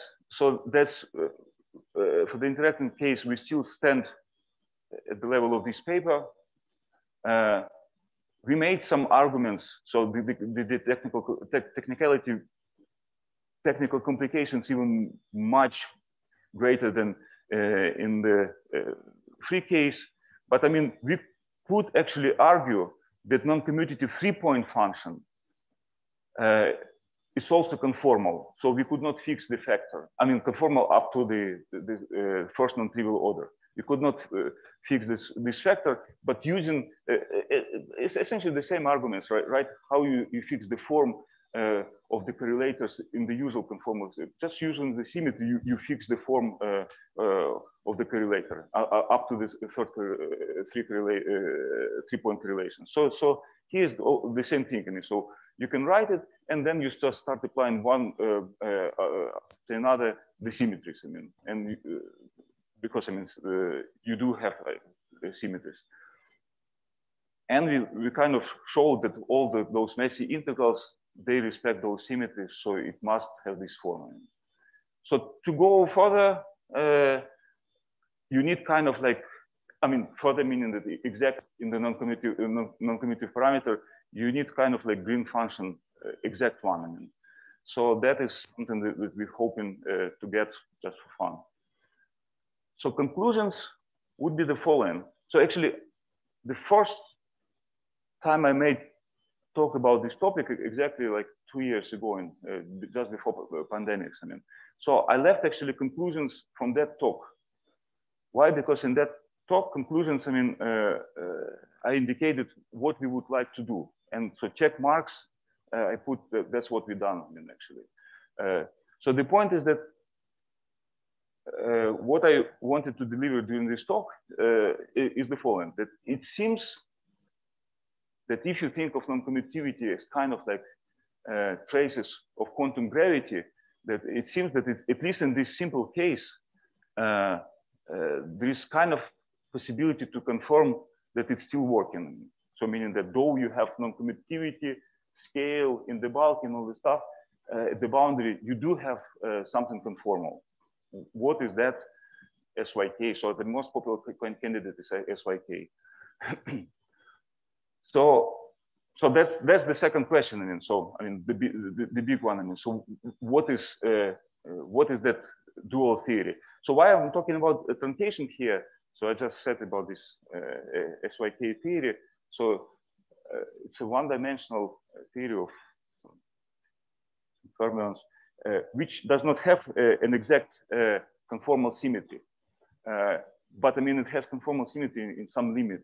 So, which corresponds to the fact that I mean, it's dual not to exact ADS, but only in some limit. Uh, so from string point of for string people, this is very natural thing. So uh, uh, I don't know how much is natural, but the point is that from, from our point of view, so if you look at the parameters, what we have in the theory, uh, we do have a way how to make this ADS approximate exactly along the lines of uh, uh, of this SYK. And so you should consider like on the SYK, you should consider the finite number of those fermions, Majorana fermions. So here it would correspond to some consistent uh, truncation uh, of the infinite representation. And the consistency would be the following. Truncating, of course, immediately uh, spoil the symmetry, would spoil the symmetry. I mean, uh, because I mean, uh, this, the isometry SU11 is not compact. So I mean, you can I, I cannot have the finite uh, representations, uh, unitary representations. So meaning that if I truncate it, necessarily I break, deform the symmetry, the isometry. So, but that, that would, would exactly agree with what people say on the uh, CFT side, that for finite number of Majorana fermions, you don't have actually conformal symmetry and all the stuff. So, but anyway, so that is, so today I talk about the solution to this problem, at least partial for the free case and all that stuff. Uh, other types of fields, uh, uh we, we show that actually the fermion field you can solve very simply, essentially just by mapping the solution for the for the scalar field. I mean, so we found the exact map uh, for, for, this two-dimensional case to the Fermi, uh, to the uh, fermionic case. Uh, in the paper with, uh, with Fedele, uh, we addressed kind of like high-dimensional case, some non-compact CP spaces, C, CPPQ. kind of projective spaces, but not compact ones.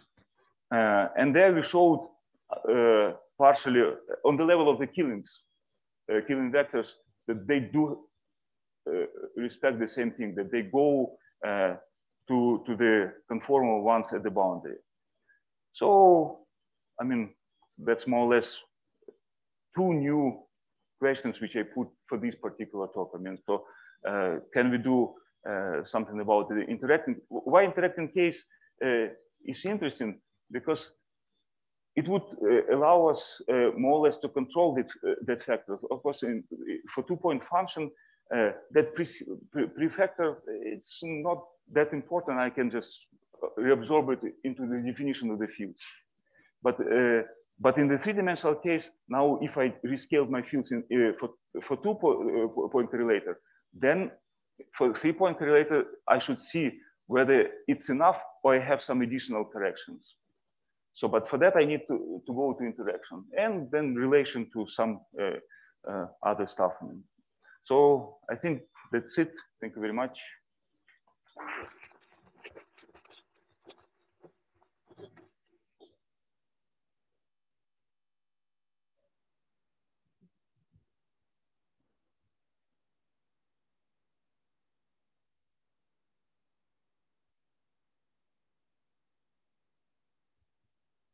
Uh, I have two questions, but let me start with the first one. So uh, for, I know that four-dimensional extreme black holes, if you take the near horizon limit, you get an ADS2 times S2 kind of structure. Mm -hmm. My question is, what more can you learn about the horizon if you take the near horizon limit if you use your formalism, so the non-commutative ADS2? Is it something that can add to what we already know? So first, I will start with disclaimer. I, I don't know much about things, but uh, my, my, my, point of view uh, is that, as I said, I mean, uh, the limit which you talk uh, talking about, this is really like on the uh, on the level of the geometry. So if you, if you look at the, the, metric, you take the limit. So so this is purely classi classical gravity. So supposedly you might learn about some quantum gravity regime uh, near horizon. So that's the, that's the point. Because I mean, uh, up to now, still you don't have uh, the, the control and, uh, really explicit control. What is the gravity on ADS, right? I mean, so I mean that you can take this point of view.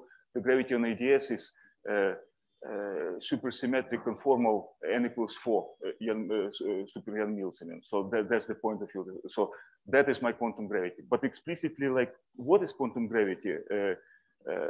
I think we don't have that control. So non-commutativity, as I said, I mean, supposedly having some traces of whatever is quantum gravity. Of course, it might have uh, nothing to do with reality because I mean, quantum gravity might actually break explicitly even on the uh, sub-Planckian scale, uh, there is all stuff. So. Okay, so the, the question, the second question maybe is a quick one.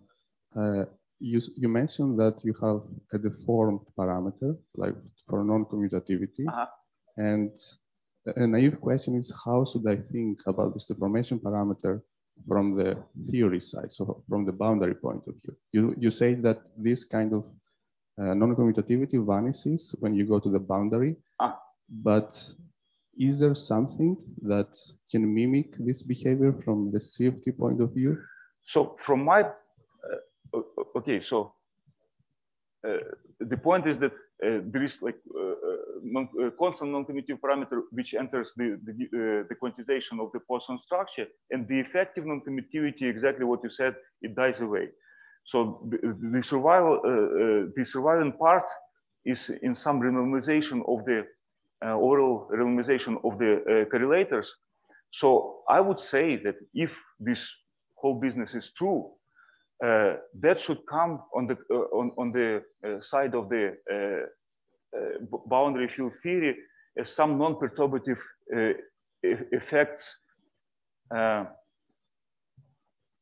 the answer is I don't know what is this alpha in the boundary uh, theory. So supposedly it should take care some, so maybe the point is that if you manage ever to establish this uh, really correspondence, maybe boundary theory will fix the lambda, meaning that it, should fix some kind of scale, quantum gravity scale. I mean, so maybe it will fix it. Oh, sorry. Okay, so you mainly consider the, the, the free field theory. Yeah. And now in the, the free case on ADS is a purely group theoretical problem. Right. So in also in the fuzzy, both in the fuzzy case and in the commutative case, which means there's really a one-to-one quantization map which respects all the structure and you can make it isometric and then it's unique. And then the free fuzzy theory is exactly the same thing as sorry, so yeah, the free fuzzy case is exactly the same as the as the classical one. So in fact, it should you can absorb probably all this normalization. I think it's clear that also the boundary is exactly the same. Now, as soon as you switch on the interaction, of course, that's no longer true.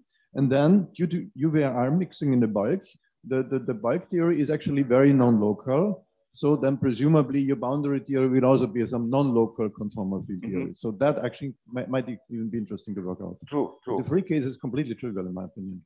True. Uh, the point is that, that that's what, what I said, uh, that uh, in some sense, I mean, you can treat interacting theory without having the solution uh, for the free theory. So uh, theoretically, it's true. I mean, there is a map, but to find that actually solution in the explicit form, uh, that that uh, so, but that was a necessary pre pre prerequisite to treat the interact, uh, interacting theory. As I said, interacting theory we did treat perturbatively, and the perturbation, uh, first non-trivial perturbation, indicates that it still survives. But of course, that's the main interest. I mean, so that, that's for sure, because uh, especially to check what is the effect uh, of this bulk non-commutativity? Is it really just boils down to, to overall rescaling, or it really produces something more, more non-trivial and all this stuff? And so uh, that uh, that that is more ambitious. Actually, more ambitious technically pro uh, project because I mean ideologically it's clear what must be done, but technically kind of a mess. Yeah, it will be non-local. Yeah. yeah, yeah. So I think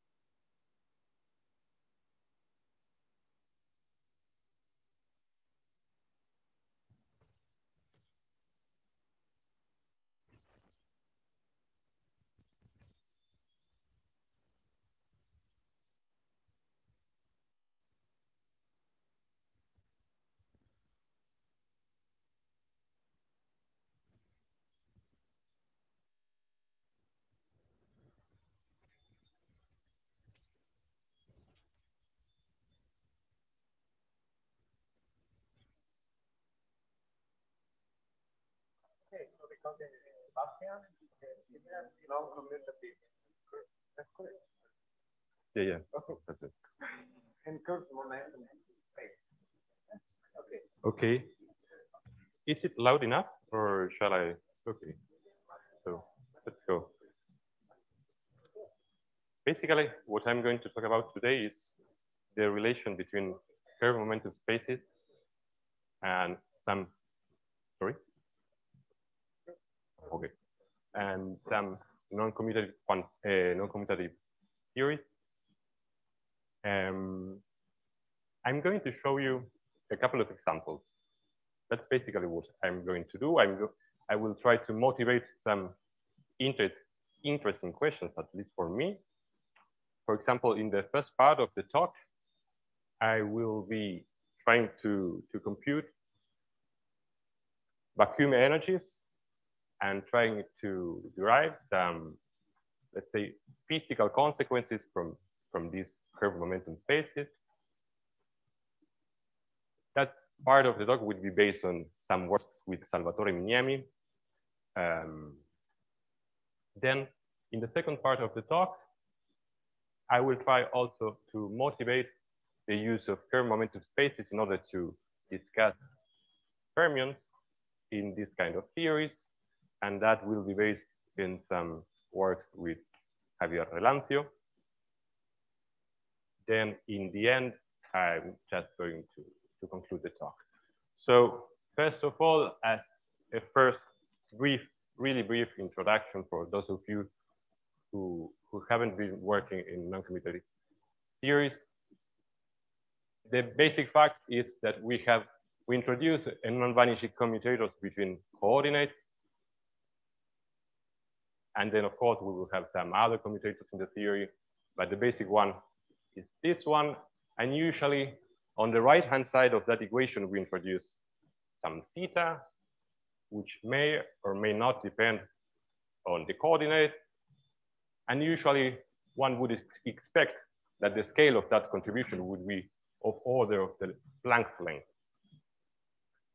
If you want to, to trace back the original idea, well, we may discuss if it was Snyder, if it, there was some contribution also in the 30s by Schrödinger. But in any case, the idea behind this kind of theories was uh, the one that I'm just depicting there in, in that picture. If you want to go to, to the UV scales, then you will have some sort of Heisenberg uncertainty principle between the coordinates.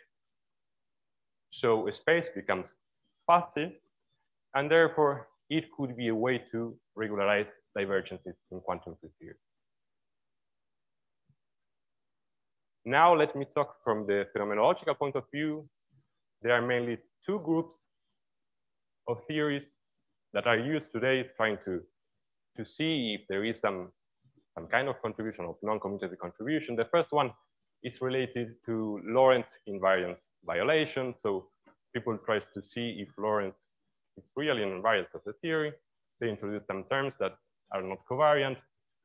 Then they compare with experiments and and they see whether there is a privileged observer in the universe or if there is not.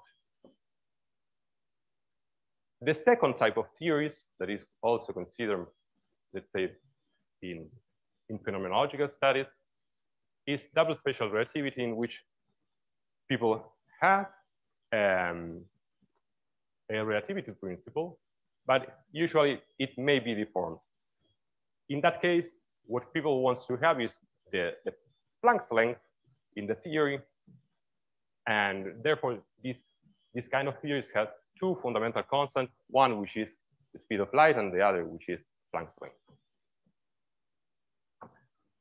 One type of this of the later is Snyder space or anti-Snyder space also, which you have seen in, in one of the talks um, on, on Thursday. Um, basically, what we have in this case is that the Lorentz generators with uh, the J satisfy the usual algebra.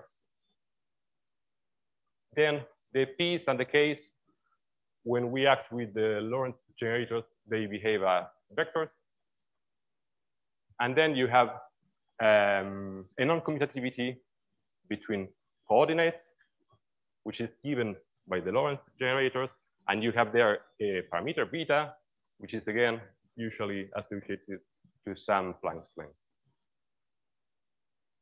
Uh, well, you will have some deformed commutation relation between x and p, and the commutation between the p's is just vanishing.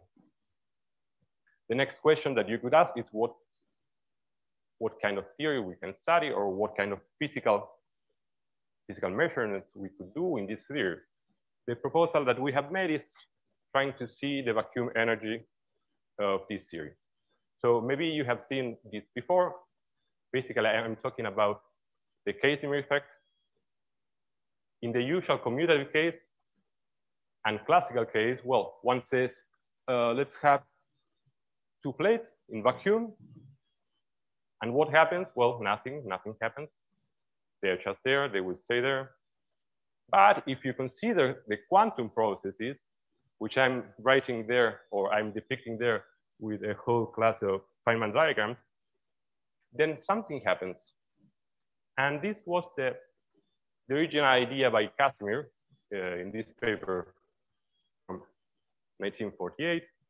What he was trying to do is to compute the frequencies of the modes in such configuration the idea is pretty simple.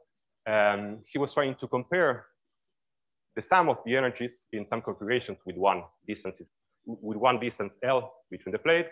And basically the formula that he derived was this one. So there is a force, a non-vanishing force, which is uh, given by the inverse of, of the length to the fourth in four dimensions and, and so on and so forth.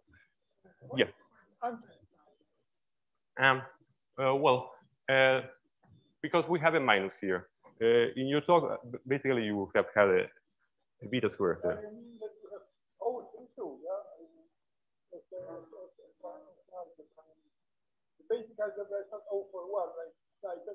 Mm -hmm. Yeah.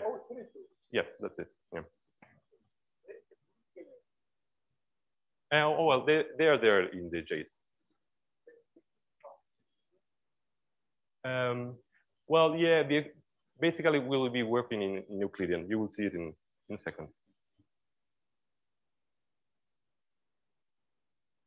Okay. Um, so what I was trying to, to point out is that this has been confirmed experimentally. So if you go and do the measurement, which was not so easy to do, uh, you can see the nice one over the length to the fourth behavior of these poles. Um, the computation that we have done, uh, well, just to answer the question by, by Bala, uh, there we are considering time, separating time, and the anti-Snyder would be just the spatial part. So we won't consider a non-commutativity in the time. And that's important part. And that would also change the answer to your question because then we have just one time and then anti-Snyder on the other. So we don't have two time components. Yeah. Yeah. Okay, so basically what we, we were doing was considering uh, the spatial, the spatial, let's say, contribution to, to the wave equation, which is given by that Hamiltonian. So we have p squared, but p squared is now uh, an operator which is given, for example, in some realization uh, in which p's are coordinates, the p's without hat are coordinates, we are choosing like that. And there also we have some uh, x hat, some potentials depending on x hat, which are coordinates, which are operators in this case. For example, you can take them in this realization as derivative acting on, on the p coordinate. And one, well, one not, not so easy point is that if we want to localize things in, in this kind of theories, it's not that easy because it is non-commutative. Therefore, we have introduced these two Heaviside functions, Heaviside functions of the operators, not of the of coordinates. The, the x there are operators. The operators, let's say, associated with one direction in space. And at the end of the day, we have taken the V going to infinity limit. So that was the procedure. The procedure we computed the, the frequencies, we have summed of the frequencies, and we have obtained the force corresponding to this case, to this non-commutative space. You can see the formulas, don't get lost in the formulas. I'm just going to discuss what, what the physical intuition is behind this. And the first one is that you have a contribution, an overall contribution, which is basically given by, by metric. And the metric is, in this case, uh, of the hyperbolic space. So what I'm saying is that in some sense, naturally, we have a curve momentum space, which is given by a hyperbolic space. The next comment that I, would like to do is that we still have divergences. We do, uh, as in the usual case. Um, but in this case, it is not given by the sum of the modes. I mean, the modes you can see here, if you take the, the p going to one over beta, which is the limit there, they are bounded. So the modes are not increasing. They are not divergent, but they are bounded. But the divergence, if you choose D big enough, is given by the geometry, by the geometry in curve momentum space. So that's I would say, a really interesting physical consequence of, of this model. Still another comment. Um, we have checked that with a couple of realizations, the result is the same. Of course, that's not a mathematical proof, but that, uh, let's say, we are, we are, we are safe in, in a physical sense. Um, and the last comment that I want to do is that basically what one is trying to do in this case is to obtain a certain function of the operator HV evaluated at minus one half. So this result is related to spectral to spectral functions. And if you want to have a closer look, I have this slide, and in this slide, I'm, go I'm doing an expansion. And if you go to compute the first term in the expansion, what you see is that apart from some overall factors, you have the volume of the hyperbolic space. And then if, yeah.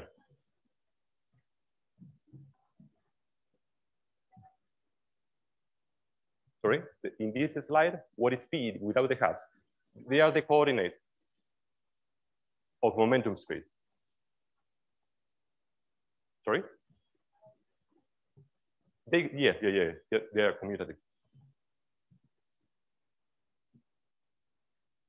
Okay, um, so if you go to the next order, in this sort of expansion, what you get is still another term, which is given by a volume, but in this case, it is a volume of a hypersurface, which is given um, by setting the normal coordinate of this momenta just to zero.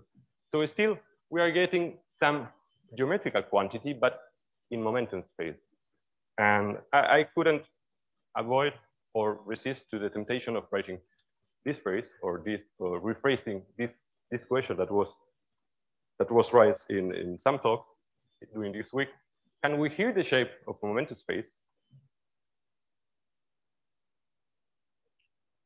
Yeah.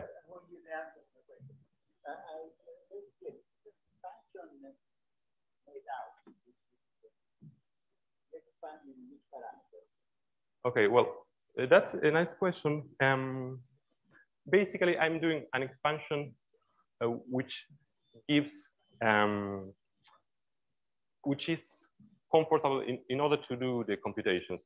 I mean, you have to do these integrals. So I'm expanding in, in some function which is related to, to sine, to sinh of beta times times kn and so on. So uh, there is no expansion like a proper time expansion or something like that at, at this point.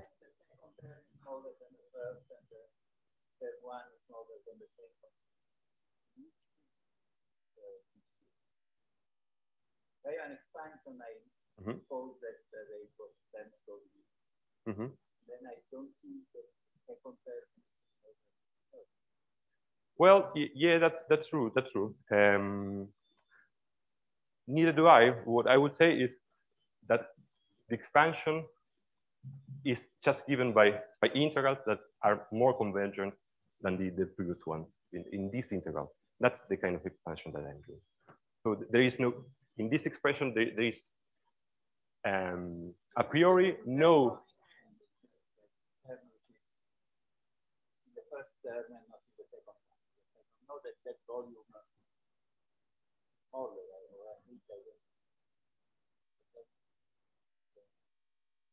the third term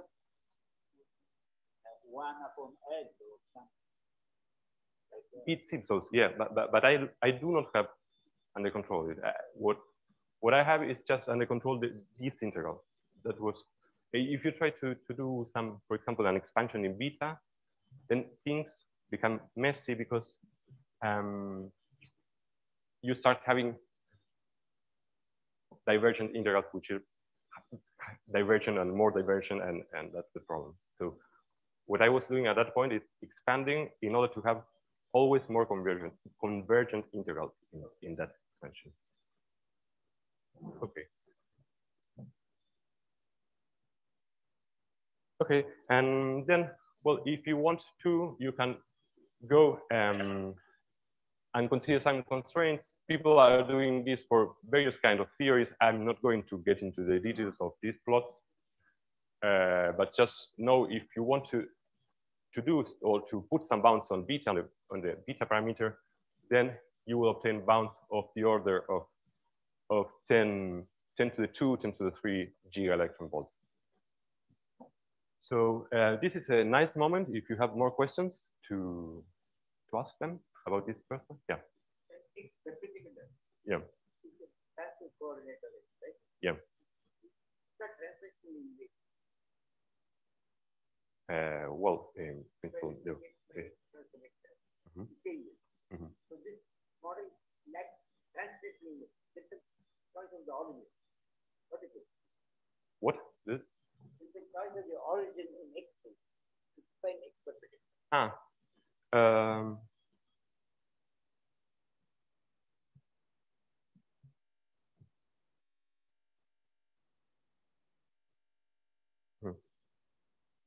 Uh, so you basically are saying that if we compute, we do the same computation, translating, let's say, at this point, if we, yeah. Changes it. Okay, yeah, good point. In fact, uh, it's in fact case of like Fourier transform. So the origin is fixed. It can allow action of the think Yeah, yeah, yeah. Um, okay. Uh, well, it, it will be interesting to try to understand. Uh, so basically what we are saying is we, we put two plates at some point, then if we translate, we will get another answer. That's your point. Yeah. The. Yeah. Snyder, the of Snyder if you write anti-Snyder, then you, then somebody thinks you take some anti to Snyder, but it's not. The concept is not same. Because that you change only the the, the, the, the, the algebra on the construction. Yeah. The construction. And, and that's the the algebra and not anti-Snyder. Okay. Well, well, it, it is just to differentiate between what happens in, in configuration space and what happens in momentum space. I mean, if you if you trade or if you switch x with p, I would say, terminological comment. yeah, yeah, yeah. Not clear. You say anti-Snyder. Okay. Okay. Yeah. long ago, possibility of point factor compared with the transaction with the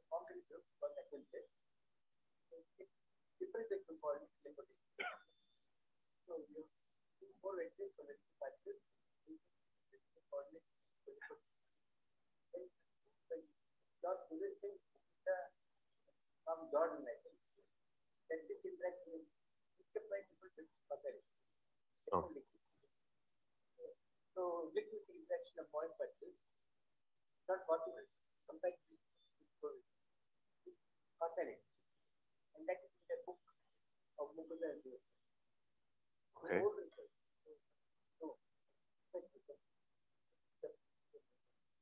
Okay, I will have a look. I, I will ask you for the reference. Yeah.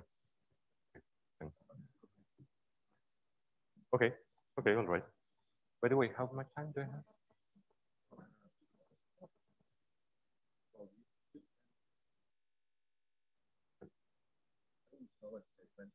Twenty minutes. Okay, that's that's a lot. Um, so let's go to, to the second part of the talk. In the second part of the talk, as I said, I will be talking about the relation with fermions. And let me first say that usually in this phenomenological approach, what people do is to consider some modified dispersion relations for particles. And if you want to do phenomenology, you just need to, to the first term of this Casimir, which will give the, the mass shell. Uh, if you want to do some theoretical computations, of course, you, it's better if you keep all the others. Then one main feature of these theories is that we will have a modified conservation law of total momentum, which, which will be given by the modified addition of the momenta. And again, if you want to do phenomenology, you will just expand to, to the first order in, in the in the in the parameter lambda. And of course, um, what people has tried to do, as I said in, the, in some previous slides, is to make this compatible with the uh, relativity principle. So we will also have, in general, the form Lorentz transformation. The most developed approach is the consideration of Hopf algebras. Uh, for example, in the case of kappa Poincare.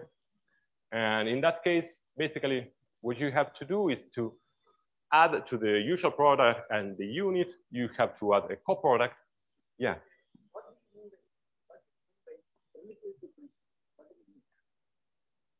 Okay, um, that you have uh, uh, the action of of the Lorentz of the Lorentz group on. You don't have action of translation.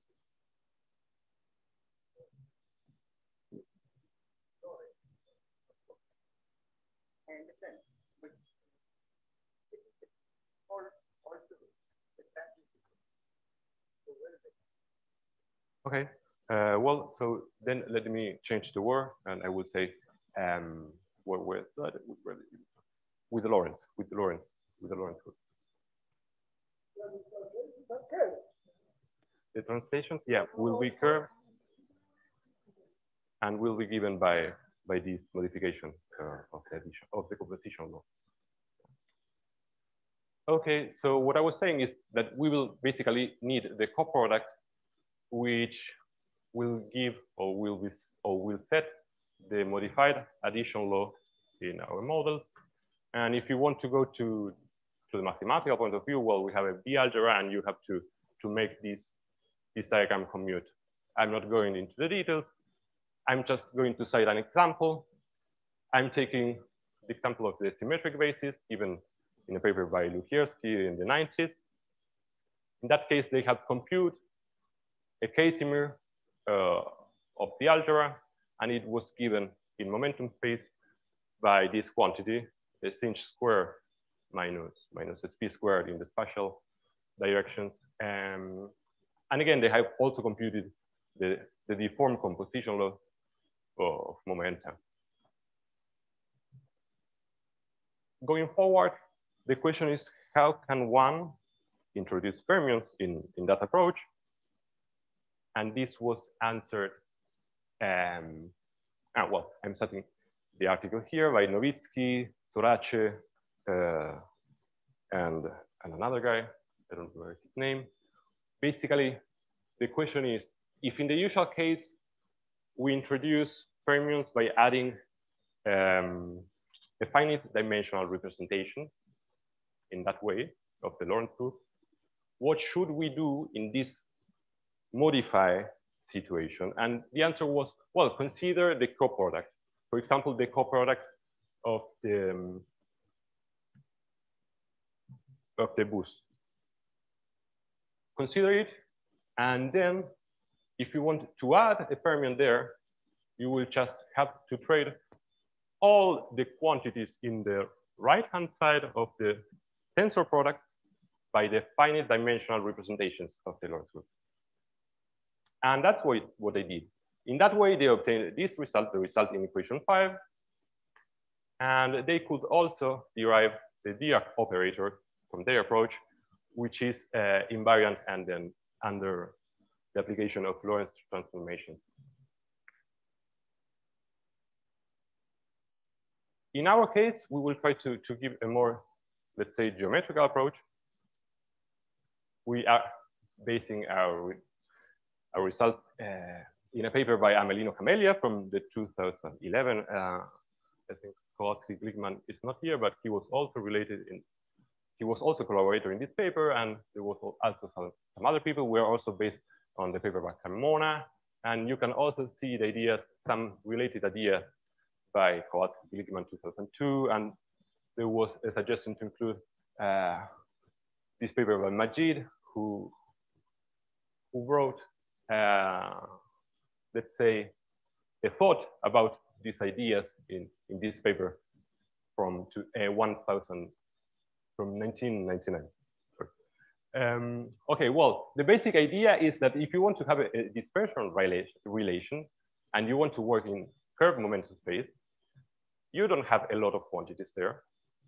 The basic one is distance. You have distance. You can define distance, and that's a scalar.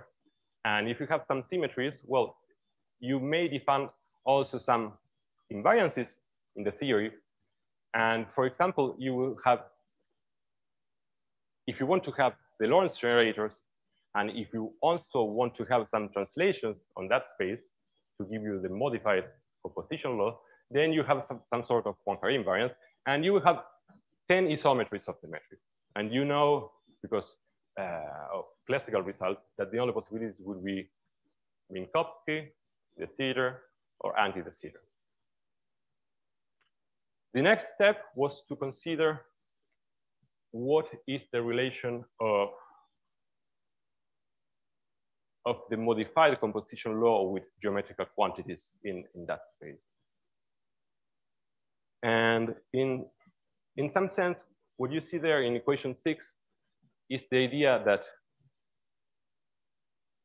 that the notion of this modified law is some sort of,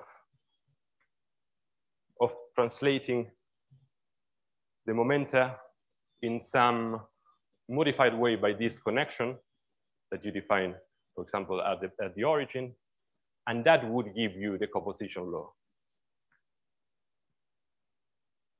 And then you, you can try also to, to give a meaning for quantities beyond the origin. And that's also doable.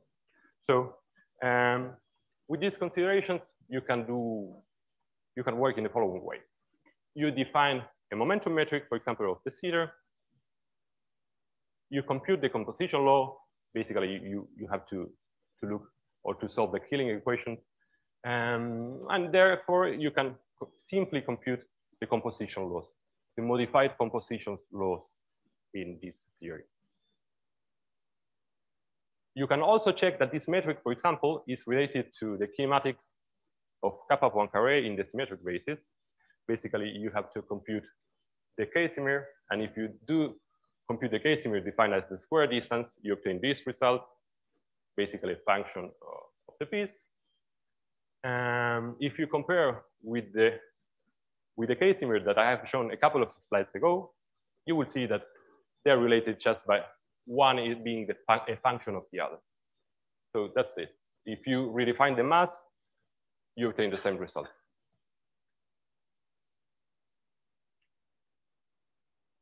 There is a comment here. Um, as you can see, there is, um, once you choose a metric in de Sitter space, you can choose different composition laws.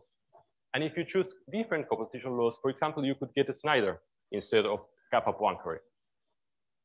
In this particular basis, what uh, you see is that the composition law for Snyder and for kappa Poincare are different, and therefore they would give they give uh, some different uh, some different connections in this space. You will also see it clear maybe when I will talk about Fermi, which is coming uh, in a couple of slides. So uh, if you want, you can also define an action in, in momentum space. You can also see that the expression is covariant, which has been uh, a discussion in the literature for a while, I would say. You can also see that you have invariance the Lorentz transformations and, and that, that is a trivial, let's say, proof. So let's go to the Dirac equation. What we wanted to do is to obtain some sort of modified Dirac equation in this setup. I'm just writing this uh, in this way. Let's say some sort of gammas should be there, some sort of momentum should be there, and there should be a spinor also on the, on the left-hand side.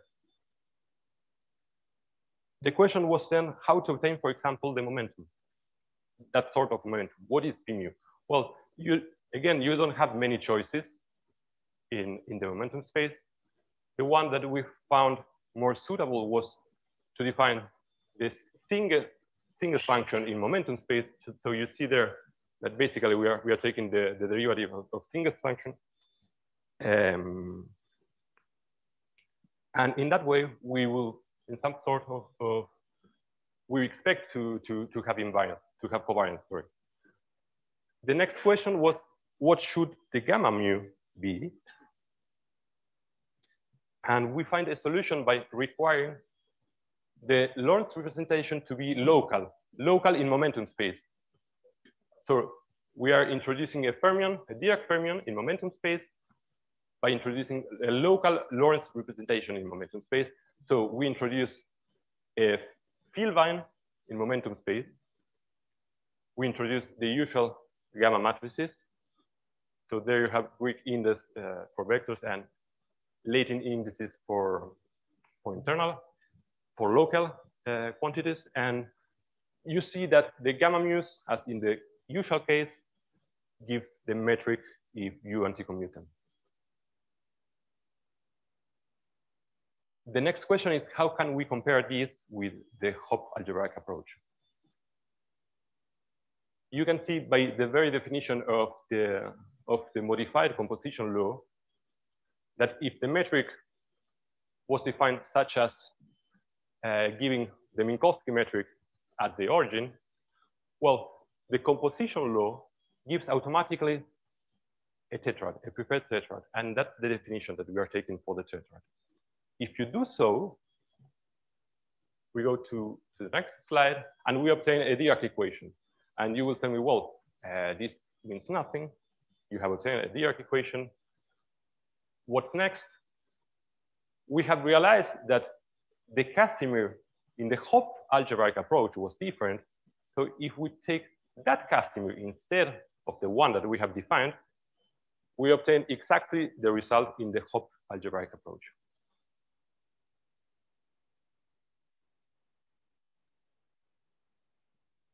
There is still uh, one comment. If you want to, to square, um, um, I mean, in the usual case, the Dirac operator, you will obtain the Casimir of the scalar case. And so basically, let me summarize what I have been doing. You have kappa Poincaré. You may take the Hopf algebraic approach. And therefore, you may want to define a finite dimensional representation in the coproduct. And in the end, you obtain your Dirac equation. Or otherwise, you may take the other way, consider a curved momentum space, define a local Lorentz representation for the fermions, and you get to the same point. There are a couple of comments still. Um, the fact that we were squaring the, the Dirac equation is quite general, so you can do it and obtain, again, the, the Casimir of the scalar case. Again, you can define some action and see that if you use a variational method, you, you obtain the Dirac equation. And still, another comment is that you may consider spinors in Snyder in the same way. The best way to obtain uh, spinors is just to consider supersymmetric. Well, it, it could be the case. Um,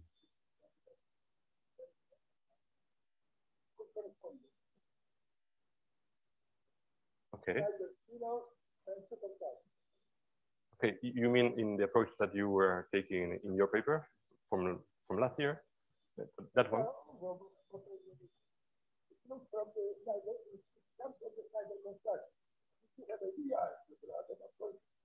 You get the deformation of. You get deformation of a super space. X, And have you written uh, written down a Dirac equation?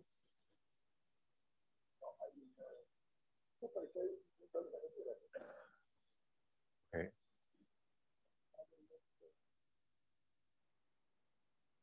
Okay, maybe we can discuss this in, in a couple of minutes. Okay. Um, I think this would be the last slide of remarks from the Dirac equation. So basically what I, I- we have obtained is uh, an equation that was invariant under the deformed Lorentz transformations. We have also seen that it is covariant. And um, we also introduced discrete symmetries basically by, by taking the, the action of the, the parity time, the time reversal and the charge conjugation operators in, in usual case, but going to, to momentum space. And then we have seen that the theory will be invariant under these symmetries if some additional conditions are satisfied with I'm writing down in equation eight for parity and time reversal and in equation nine to for, for charge conjugation. There is still another another subtlety there because we have also to choose a change in lambda. I mean to introduce a sign in lambda in doing this charge conjugation. But still, you can see that for rather general metrics, um, you will you will satisfy these conditions. So in principle, it seems like we will have invariance under the three of them. So let me go to the conclusions. Uh, basically, you can see what, what I was talking about in, in this talk. I was trying to motivate the idea that one could work in momentum space instead of for a certain class of models, in, instead of working in the non-commutative with non-commutative coordinates and still obtain some interesting results from, from the physical point of view, but also from the, from the mathematical point of view, maybe, you, you have seen, for example, in the case of the computation of vacuum energies, that there is some sort of relation that is, is not clear between between spectral properties of the momentum spacetime and, and our computation. And lastly, we have also shown that there is another interpretation for, for fermions in this kind of theories, which is this local representation in momentum spacetime. And if you want, well, I have written some, some dots, dot, dots. Um, you can think how to add potentials, interactions, in that case with fermions, if you want to have the conservation of the total momenta with the modified addition law, and so on and so forth. So thank you. Thank you. Quite some discussion during the talk.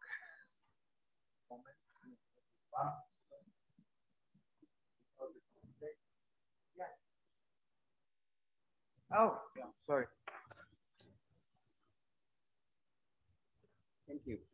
From the action you wrote, it seems that this model has tachyons and negative energies and so on, because one integrates over d4t in the action. Uh, so you don't see the mass shell condition anywhere. Okay? The positive energy mass shell condition anywhere in that action. Okay? So I'm not clear what is the spectrum of this Dirac operator you're right. The second question is lambda to minus lambda under C that is not an automorphism of the Lorentz group. There is no such automorphism because it also change the identity, identity of the Lorentz group to minus one. So one can easily check that it is not an automorphism. Lambda times one is one lambda. Apply C, you get minus lambda times minus one is minus lambda equal to plus lambda. That is wrong. So that is not an automorphism. So I am not understanding Okay. Um, let's say for, for the first question, um, we have been trying to, to understand a little bit more um, what's going on there. And we were trying, for example, um, here you can see that we were trying to, in some sort, uh, introduce some constraint on the modes. In this case, what we were trying to do is to introduce some, some vector t and trying to just retain all the contributions for, with, with positive energies. And maybe this is related to what you were asking, right? CD, well, if you have, a, ah, okay, yeah. Um,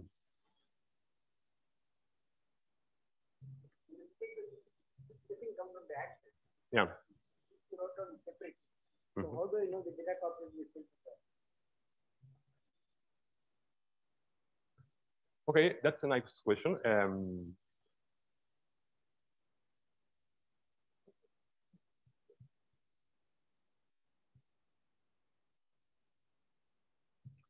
that's an, that's a nice question. Um, before before telling if it is self-adjoint or not, we have to define Hilbert space.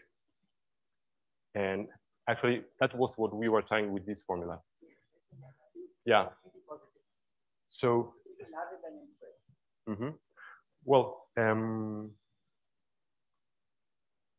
it will depend uh, on, the coordinate. In principle, there could be it, it could be negative. Yeah, that that's the point. Yeah. Yeah. Yeah, yeah. Yeah, that, that's a good point that we have to study. Yeah. Yeah, yeah. Comment, I mean, when you write DSR as a curve momentum, deals with other aspects that you have a two uh, invariant parameters. This is the definition of DSR. Mm -hmm. Unless you have your own definition of DSR. Because, because if you have DSR and you use, for example, uh, non-commute space-time geometry, then of course you get a curve momentum. So I would say more non-commutative space-time and curve uh, momentum. That would be for me, uh, I mean, the thing, important thing, not DSR. Because DSR, by the way, is a vague node. It's a very? It's a, it's a mathematics, the algebraic, it's a vague node because oh. it, it, only says that you have a, besides uh, light velocity, you have, you have uh, a Planck mass, yeah? But you don't say how technically you realize DSR. So, so, so, so one should say rather uh, algebraic concept, this, uh, moment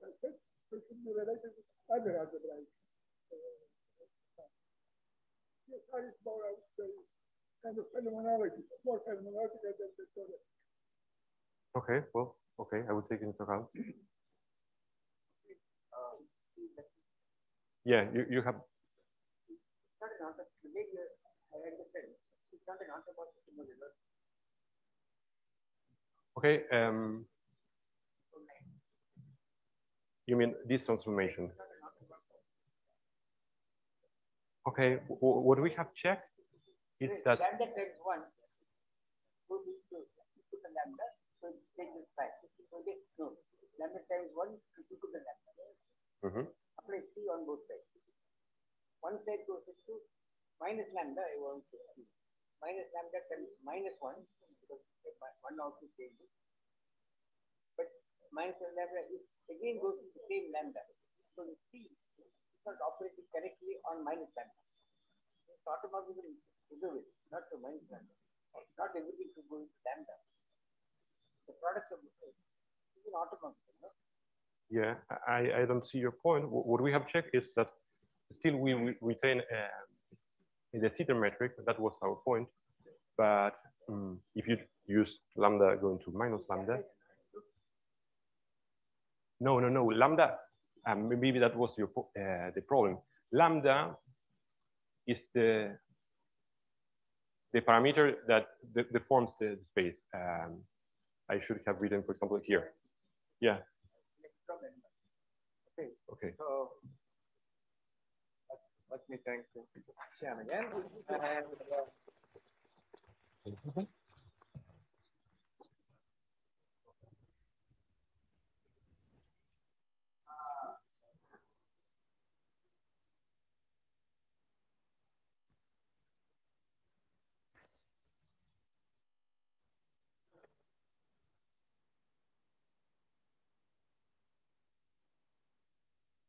Yeah, all the way. Yeah, that makes sense. Oh, okay.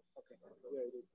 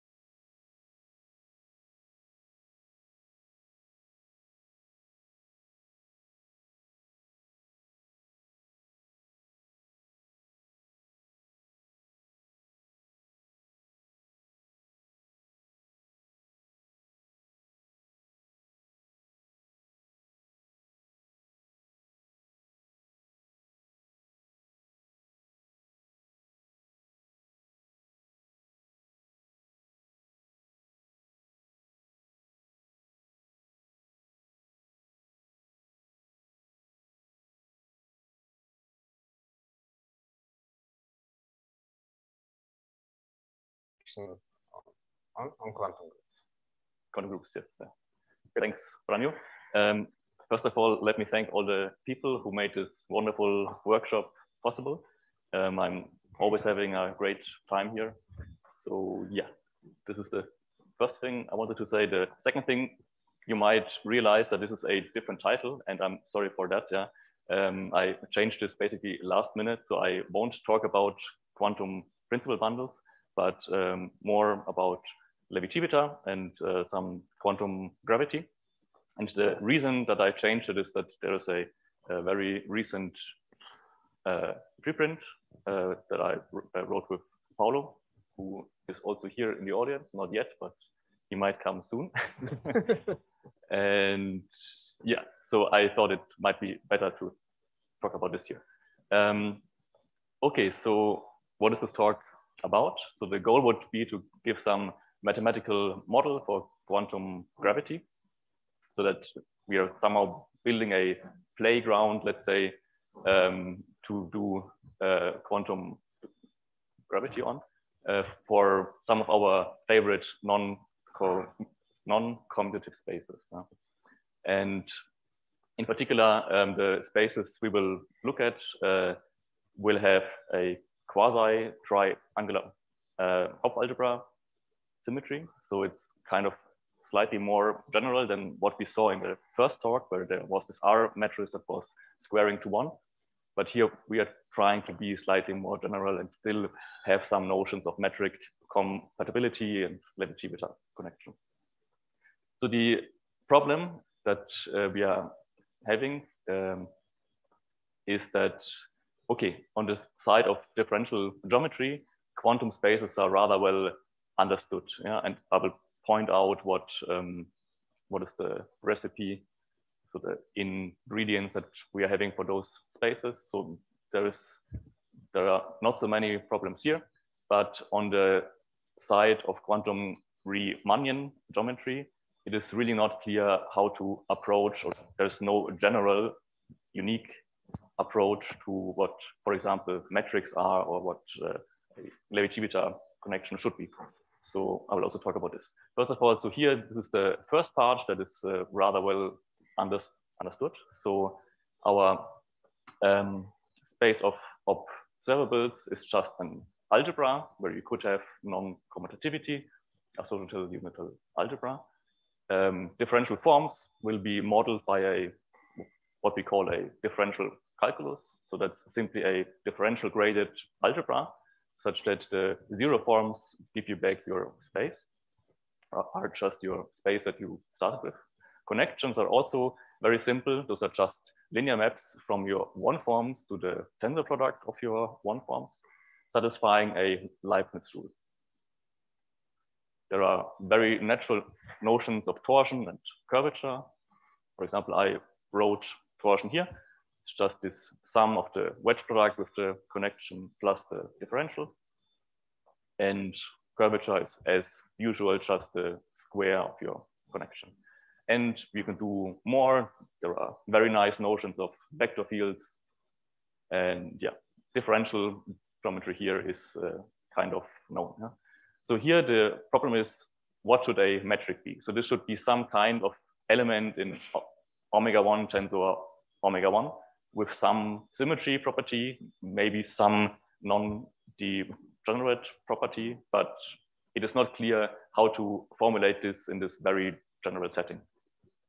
And it's also not clear what metric compatibility should be. So how to extend our connection to this tensor product so that we can write something like nabla g equals zero. Okay, and let me first give you some um, approaches, let's say, that solve this uh, problem so that give you a good notion of uh, metric and Levi-Civita connection. First of all, so, so this slide here is very similar to what we saw in the first talk. Now, so this is the twist or triangular structure setting. Um, okay, so this is based on early work of the Julius Wess group and also by um, two people who are sitting right here. Yeah. And um, so this here was for the twisted case. And the triangular case was um, solved. I did something about this in my PhD thesis, and then later on, Paolo kind of uh, finished the picture. So this, those are the references. The framework is the following. So your algebra now has a triangular Hopf algebra symmetry. Um, so this is just a Hopf algebra, and we saw the definition in this workshop several times. And this R here is a universal R matrix, um, such that the inverse is simply given by the tensor flip.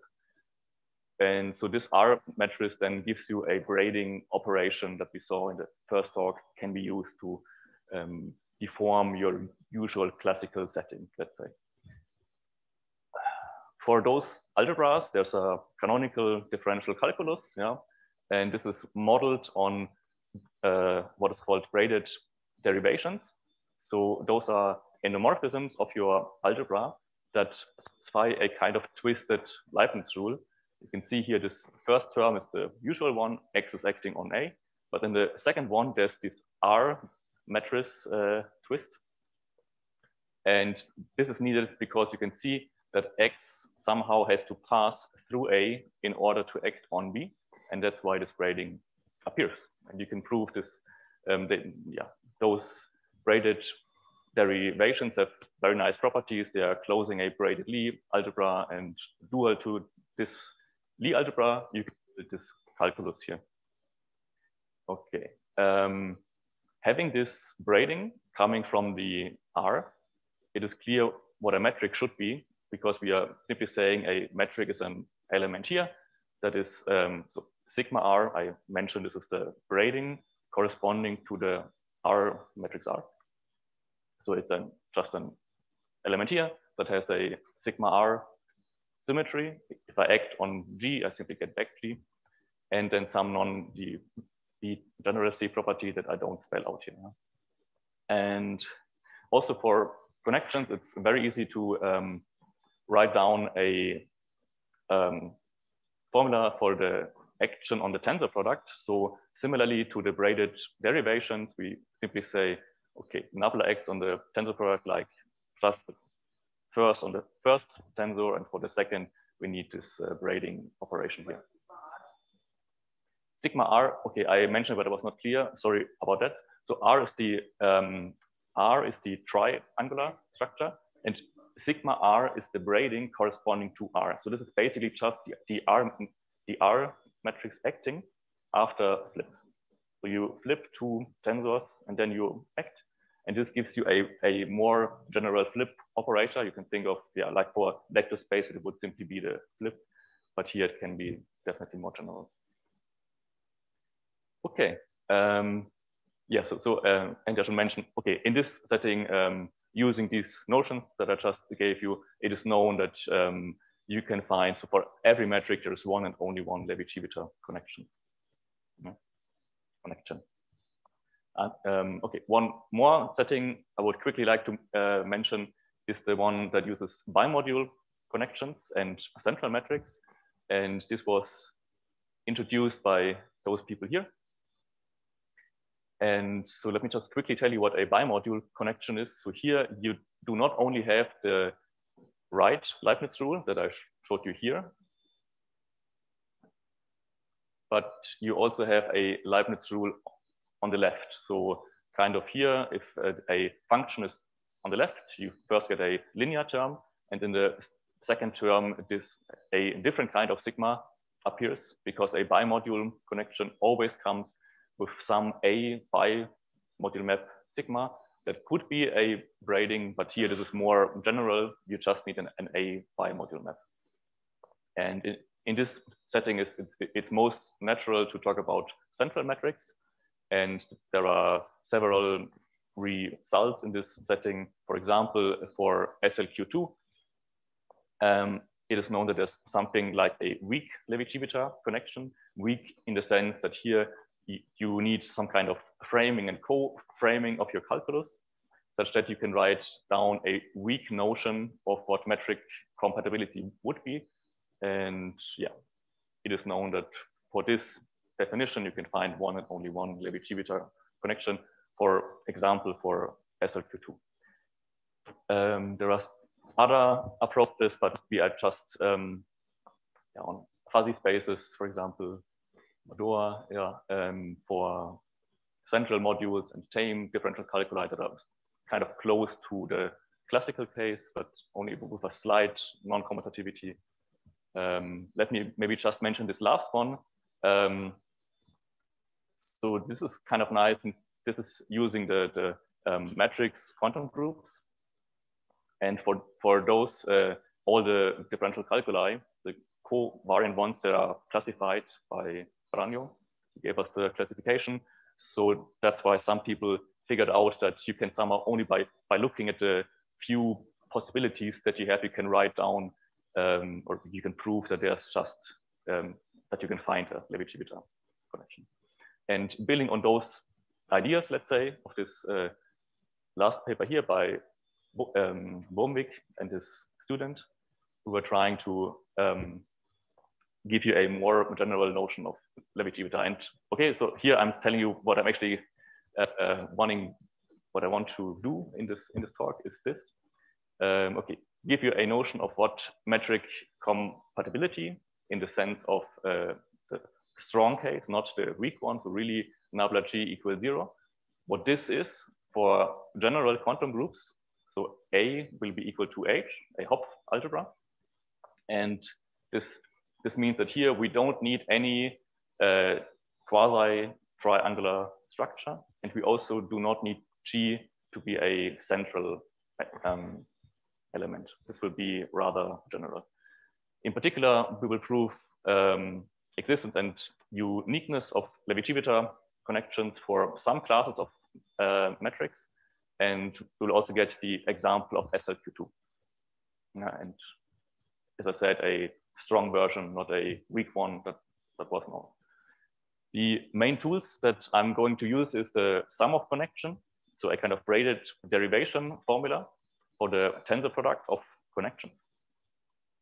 And the second tool here is a direct sum decomposition of this um, space of one form tensor one form into symmetric forms and the wedge product. And okay, I was mentioning it, it briefly. This is uh, so this last part is uh, really based on ideas developed in this paper. So we owe gratitude to them.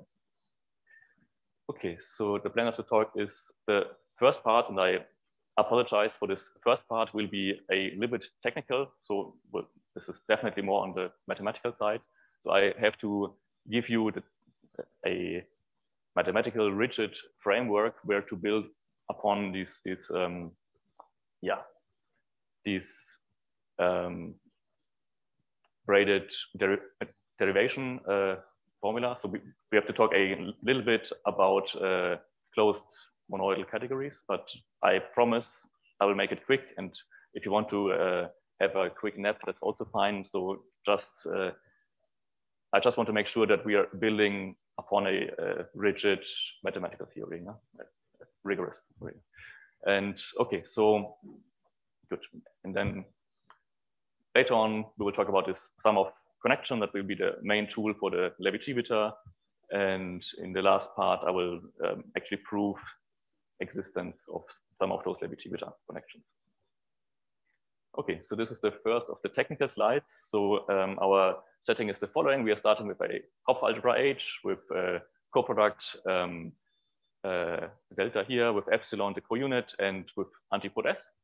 Um, we will always um, um, take Hopf algebras that have an invertible antipode, standard assumption, and K will be any field we are working on. So let's have a look at the monoidal category of right H co-modules. So this just means I'm, I'm having spaces that I can co-act on, and I have a tensor product of those co-modules that will give me a co-module. Yeah? So tensor product of two co-modules is a co-module. I will denote um, such co-modules uh, like M and the coaction like this here. So this is a map from M into M tensor H. Okay, here we're having an external Hom functor, which basically just means the morphisms of this um, category are given by co-linear maps, which is really just a dual notion of what a linear map is. So you can write it down in, in terms of this coactions. This, this simply means that a linear map is collinear. Um, what is more interesting, and, and, I think not that well known, even since this um, notion has been introduced in the 90s, is this um, uh, what are the corresponding internal Homs, um, because they are given by rational morphisms, and I have to explain what those are. So for modules, you always have a notion of an adjoint action on linear maps. And this gives you an action on linear maps. So you can see the space of linear maps between two spaces as a linear map, uh, sorry, as a module itself. Yeah? So it's an object in the in your categorical framework. For coactions, things are slightly more complicated since you, you can write down an adjoint coaction. This looks like this. The problem is this will be a map from linear maps from M to N into this bigger space here. And for a coaction, what you need is that this actually splits in this way, that you can somehow get out this tensor H, yeah, that you have a splitting. And in general, this will not be, you won't get this. So what Ulbrich did, he simply made this definition saying, I only take a look at those linear maps such that the image of the adjoint coaction is really in this space here. And those linear maps are called rational, rational morphisms. Uh, if you don't understand part of what I'm saying, it's no problem. Uh, later on, the, point is that connections will be such rational morphisms and we just need a way to coact on connections. Huh? So um, proposition that I would like to state is that, um, okay, so here if you look at rational morphisms, they are an object in MH, meaning I can coact on elements here. And the invariants under this coaction are exactly the collinear maps. So this also tells us that this space is non-empty. You have the co-linear maps and probably more. Evaluation and concatenation are morphisms here. Okay, this just means that everything is nice and collinear. Okay um, remark. So yeah, more a mathematical remark. What this uh, proposition tells you is that MH, so the co-modules with the usual tensor product and with the internal homomorphism of rational morphism is a closed monoidal category. So in plain language, this just means, okay, you have a tensor product of co-modules and you can look at linear maps between co-modules and this space of linear maps is again a co-module, nothing else. This is what this, what means, yeah.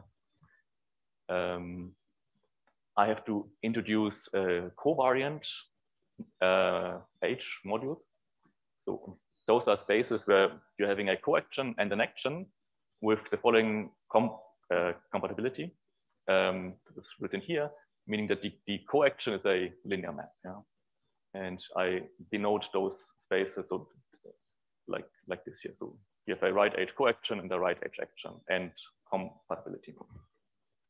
And for example, you can prove that if M is a finitely generated right H module, then the right rational morphisms that are also right linear, those are exactly the right linear maps. So in a sense, um, for right H linear maps, you don't even need this notion of rational morphisms because you can always coact on a right H linear map using the adjoint coaction. Um, okay, some notation. Um, let's see. So next step, so we were having right covariant right modules. Uh, we want more. We want bi covariant bi modules. So those are um, H modules that are also H bi co-modules, and you have the following compatibility, which simply states that your coactions are bilinear maps. And category is uh, written here with morphisms being H bilinear and H bicollinear.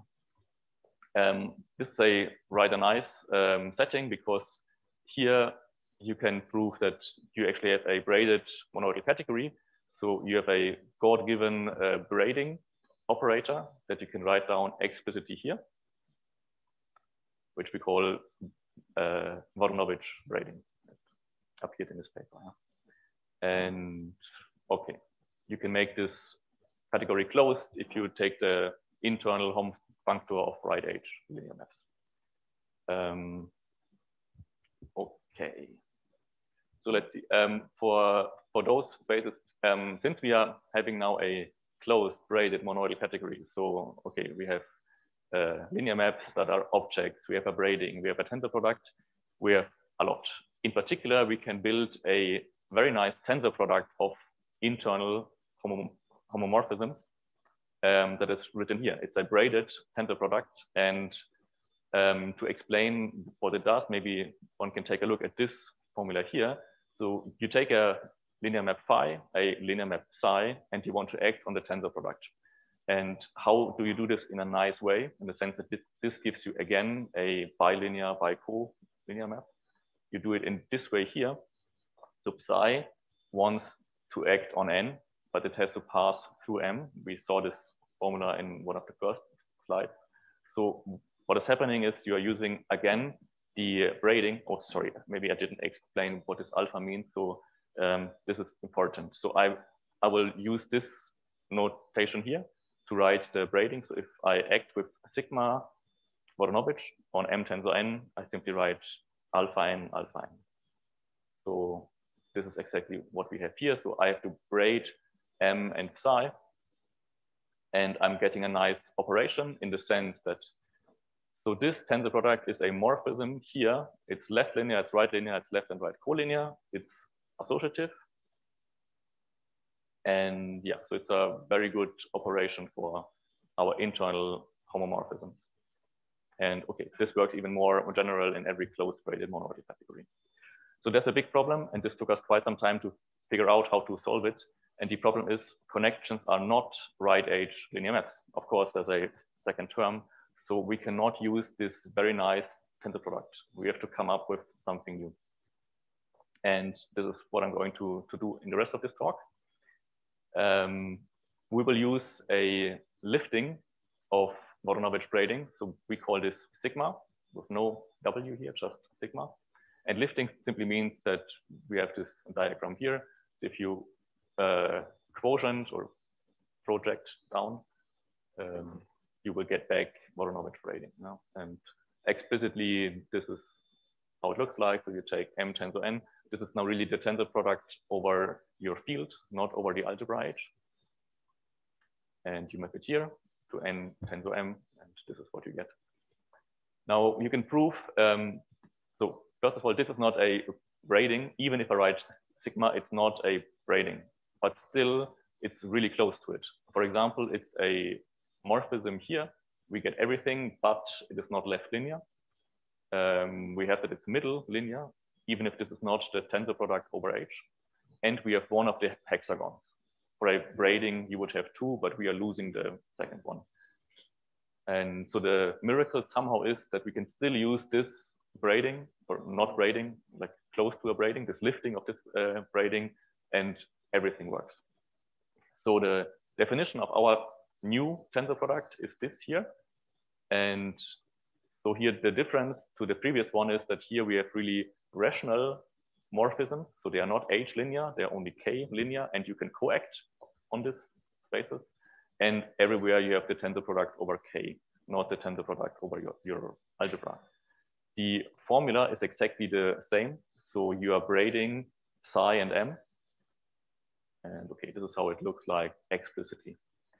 Yeah, the miracle is, the, the first theorem that I would like to show you is that this is a very nice operation that has all of the properties that we want.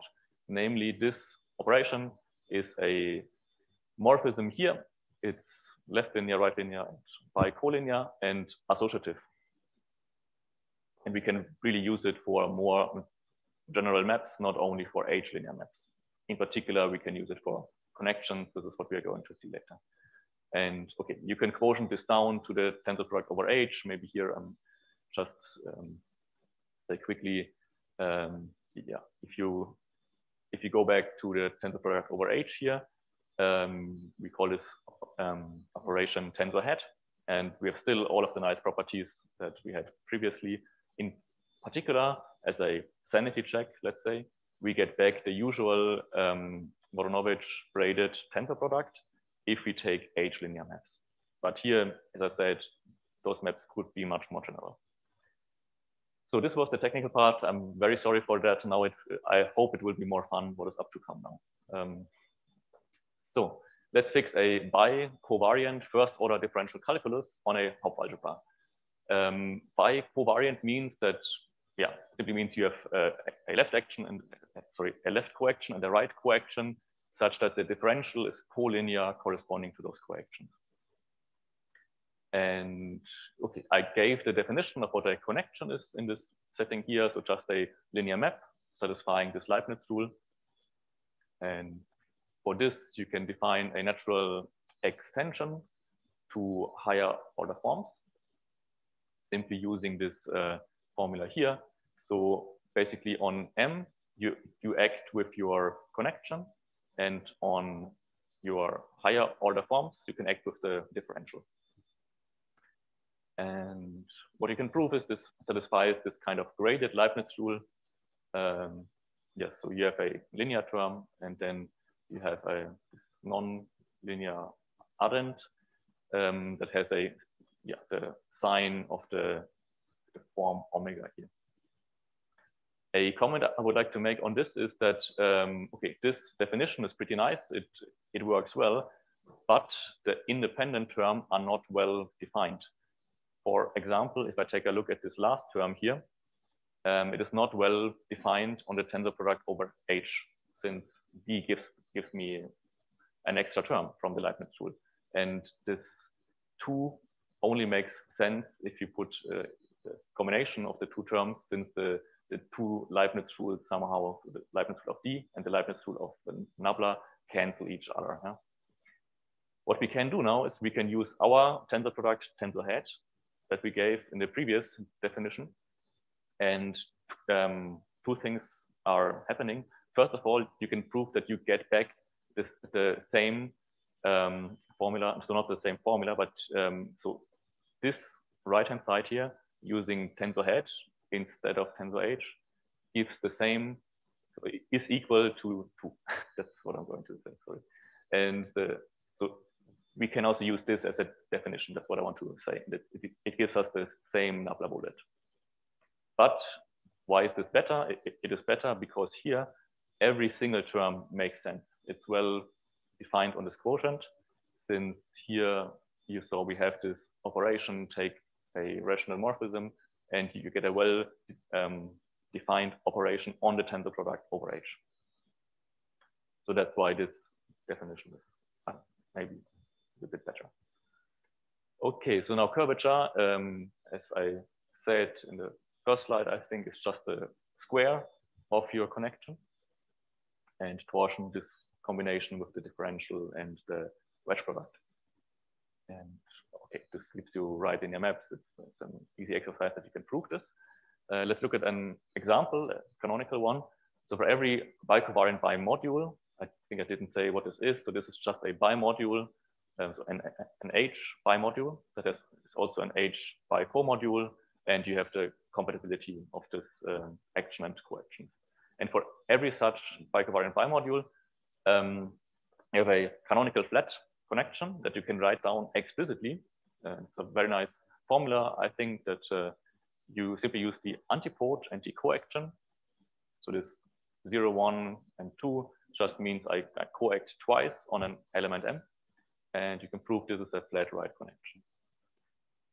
We can also get a canonical torsion-free connection. And for this, we just have to choose a basis of left co-invariant one forms. Um, and this gives us some structure constants via the Cartan-Maurer formula. And then using those structure constants, CKIJ, you can define this connection here with a C, uh, superscript C, and you can prove that this is a torsion-free connection. So canonically, you have this. Um, okay, lemma. Um, yes, going back to the rational morphisms, if you have a bicovariant bimodule M that is finitely generated as a, let's say, right H module, you can prove that any connection on M is a rational morphism, meaning I can always coact on such connections and I can use our tensor product um, yeah, what was the, the goal of the why we made this definition. Yeah. And okay, the, the, the, proof is rather simple. I mean, you know that every connection is the can be seen as the sum of one of the canonical connections that we saw in, the, in this slide here, and a linear map. You can prove that the canonical connection is uh, rational. You can simply do this by hand. And we were uh, in one of the previous theorems, we also saw that every right H linear map is rational, so also the sum is rational. Um, so every connection is rational. Very good. Um, another 10 minutes, I see. Okay, yes. I have to speed up, yeah. so using those canonical connections, I can also do something nice. Uh, namely, I can, um, okay, I first observe that the canonical connection satisfies um, satisfy this equation here. So the canonical connection on the tensor product and the canonical connection on M and on N, they are connected via this formula. And this will be our toy module for the sum of connections. So for a general connection, so let's take a connection on M, a connection on N, and I make the definition of sum of connection um, by saying, okay, take the difference of the connection M with the canonical one. That's a linear map. So I can use this uh, braided tensor product, Woronowicz one. I do the same thing here, also linear map. So I can use this tensor product here. And here I add the canonical connection on the tensor product. Okay. And that's that's the notion that would be a very natural notion of what the um, sum of connections, so the connection on this tensor product module would be. What I don't like about this is that it needs this canonical connections. It's somehow a choice and we would like to get rid of it. And this can be done using this tensor hat tensor product. Um, namely, you make simply this definition, mimicking the canonical connection, but now using this tensor hat. And what we proved is that, okay, those two different definitions are actually the same thing. So both coincide. And okay, the theorem says take a given two connections, you can build this uh, sum of connection that is a connection on the tensor product, and both notions of sum of connection coincide we also calculated the curvature. It's written here. Like the first two are the classical terms. If uh, sigma would just be the flip, and then you have those two extra terms that are vanishing in the classical limit. Okay, since time is running late, I will be rather quick on this um, linear algebra slides. Um, okay, we would like to have a decomposition of our space of one forms. Yeah? So this omega 1 tensor omega 1 would like this to split into symmetric forms and uh, two forms, and this can be done in, in case your uh, braiding is a diagonalizable braiding. Yeah, and this will be part of our assumption that we say, let's have a finite amount of eigenvalues and eigenspaces such that this de decomposition holds. And this is, for example, the, the case in, in, in all the nice matrix um, quantum groups of the ABCD series. So in our famous, uh, not famous, our um, favorite examples, we can have such a decomposition. And okay, we can get projectors you can even write down explicitly how they look like um, using Woronowicz braiding. And what I want, the last thing I want to mention on this slide is on vector fields, which, okay, I will also quick, are just a dual module of one forms. You get a corresponding decomposition, which is really just dual and everything connects very nicely. So that um, using this um, vector space decomposition, you can have a, a, a, bunch of connections. So maybe just have a look at this here. So every, okay, starting with a connection on omega, we can build a sum of connection, giving us a connection on the tensor product. And then using the projections pi, we get a connection on the symmetric tensors, a connection on the wedge product, and two linear maps.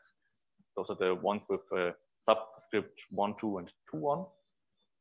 And okay, the connection is determined by those four maps.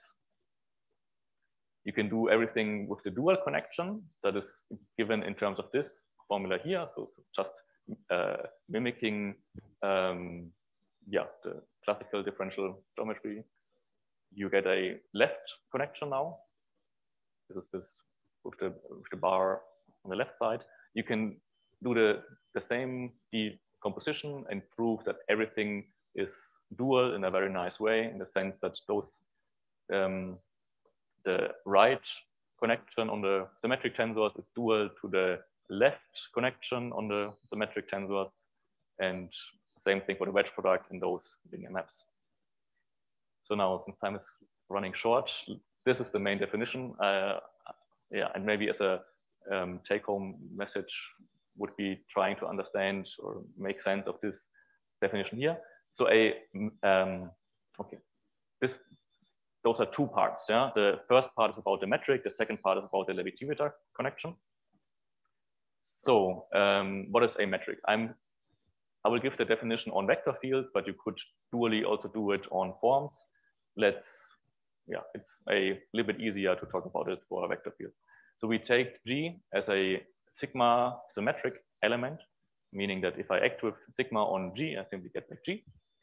And I only want um, the following non-degeneracy property that G sharp is an isomorphism.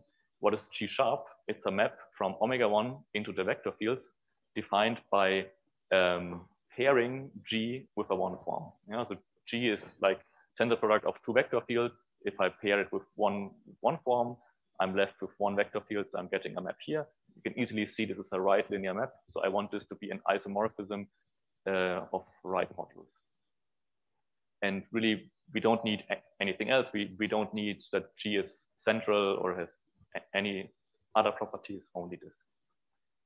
Then a Levi-Civita connection, we have everything to say um, to make this definition. It's just a right connection on one form, such that the dual connection and the part that corresponds to the symmetric tensors vanishes on G. And it makes a lot of sense to look at this one because by definition, G is a symmetric tensor. So we should take the connection that corresponds to this object here. And then, okay, torsion free, we can say this. Um, and if we have both properties, we call such a connection Levi-Civita. So let's come to some results. We need a um, we need a tool um, for a Levi-Civita theorem to work. And this, this tool is another linear map, this capital phi G. And um, let's say what this is, it's somehow an identification of those two vector spaces. Yeah, it's the, the definition is given here. It's basically mimicking our sum of connections, but now with a linear map. Yeah? And the main theorem or one of the main theorems is that in case this capital phi g is an uh, is a bijection, then you can prove that for for this metric here, you have one and only one Levi-Civita connection according to our definition, and the explicit form is given here. So you start with the canonical torsion-free connection, and then you're adding this linear map that you can see depends on the differential, the, the metric, again, this canonical torsion-free connection and this capital phi. Yeah, this, so take this for the moment as a black box that's a linear map corresponding or depending on the metric. Okay, that's very nice. Um, so here I don't go through the proof. I just wanted to show you the proof is rather simple. It's really, it fits on one slide. And so here I'm hiding nothing. It's really the full proof is here. Yeah? Um, okay, um, in the last two minutes, maybe um, let, let me talk about um, a class of metrics that we can um, that we can get here. So one more definition we call a, a metric sigma central if it's central corresponding to this braiding operator. So if you if you braid G with any one form omega, it's just the flip. Yeah. This is what we call sigma central. And for example, you can prove any sigma central metric is central and every central bi co-invariant metric is sigma central. And for such sigma central metrics, you can show that um, capital phi g is an invertible map if and only if this, pro this projection map is an invertible map. So what is nice here is you have a um, sufficient condition for the existence of a Levi-Civita connection that is independent of the metric. Yeah. So here you you don't see the metric here. It's um, yeah, proof is sketched here, but we don't have time. And um, the last thing I want to say maybe is this theorem and an example. Um, let's say that you have a metric and you know that um, the capital phi g is an invertible map, so that you have Levi-Civita there. Then what we know is that for every conformally equivalent metric, meaning that if you take a second metric g prime that differs from g only by multiplication with an invertible function, so not a constant, but you can take any invertible function, then we know that also for this metric, there's one and only one Levi-Civita connection with the explicit formula given here. So in terms of the first Levi-Civita connection.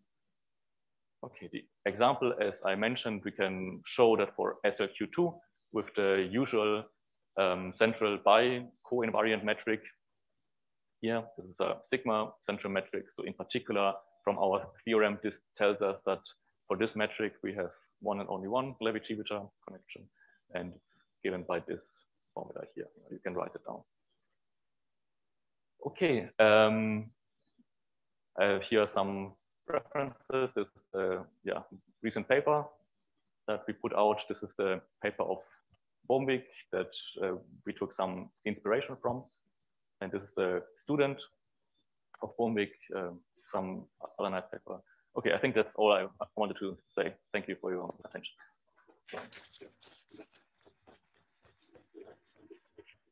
Yes, so questions, comments? Yes?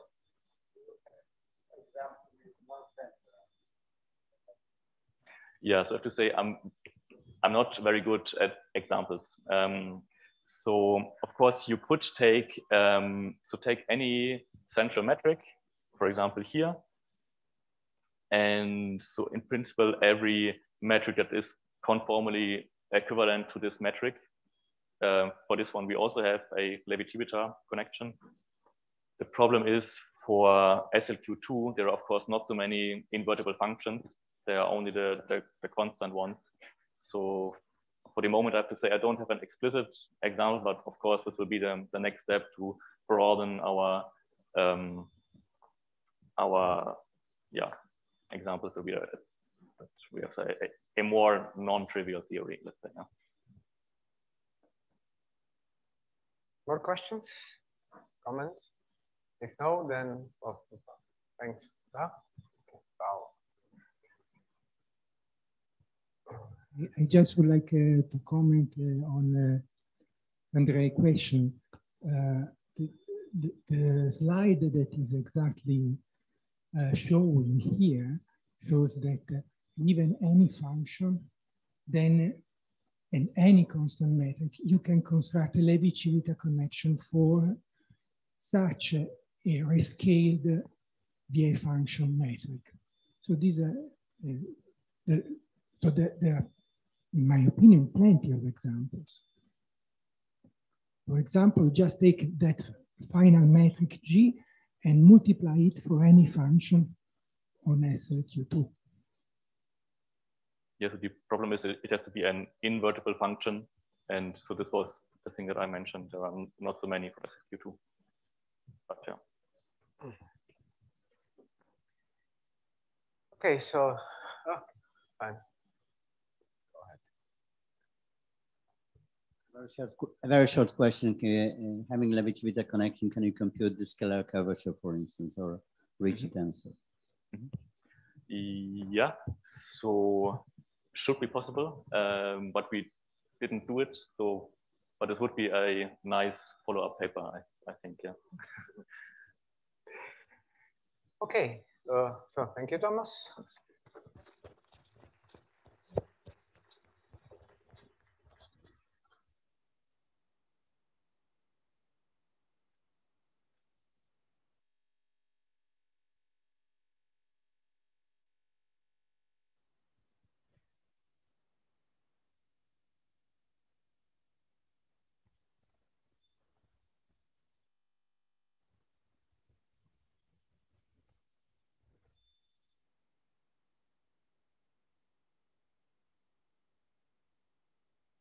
Great. So uh, our last speaker today in the morning is uh, Chakraborty, and yeah, the title is Fingerprints of the Quantum Space-Time in Time-Dependent Quantum Mechanics and Emergent Geometry.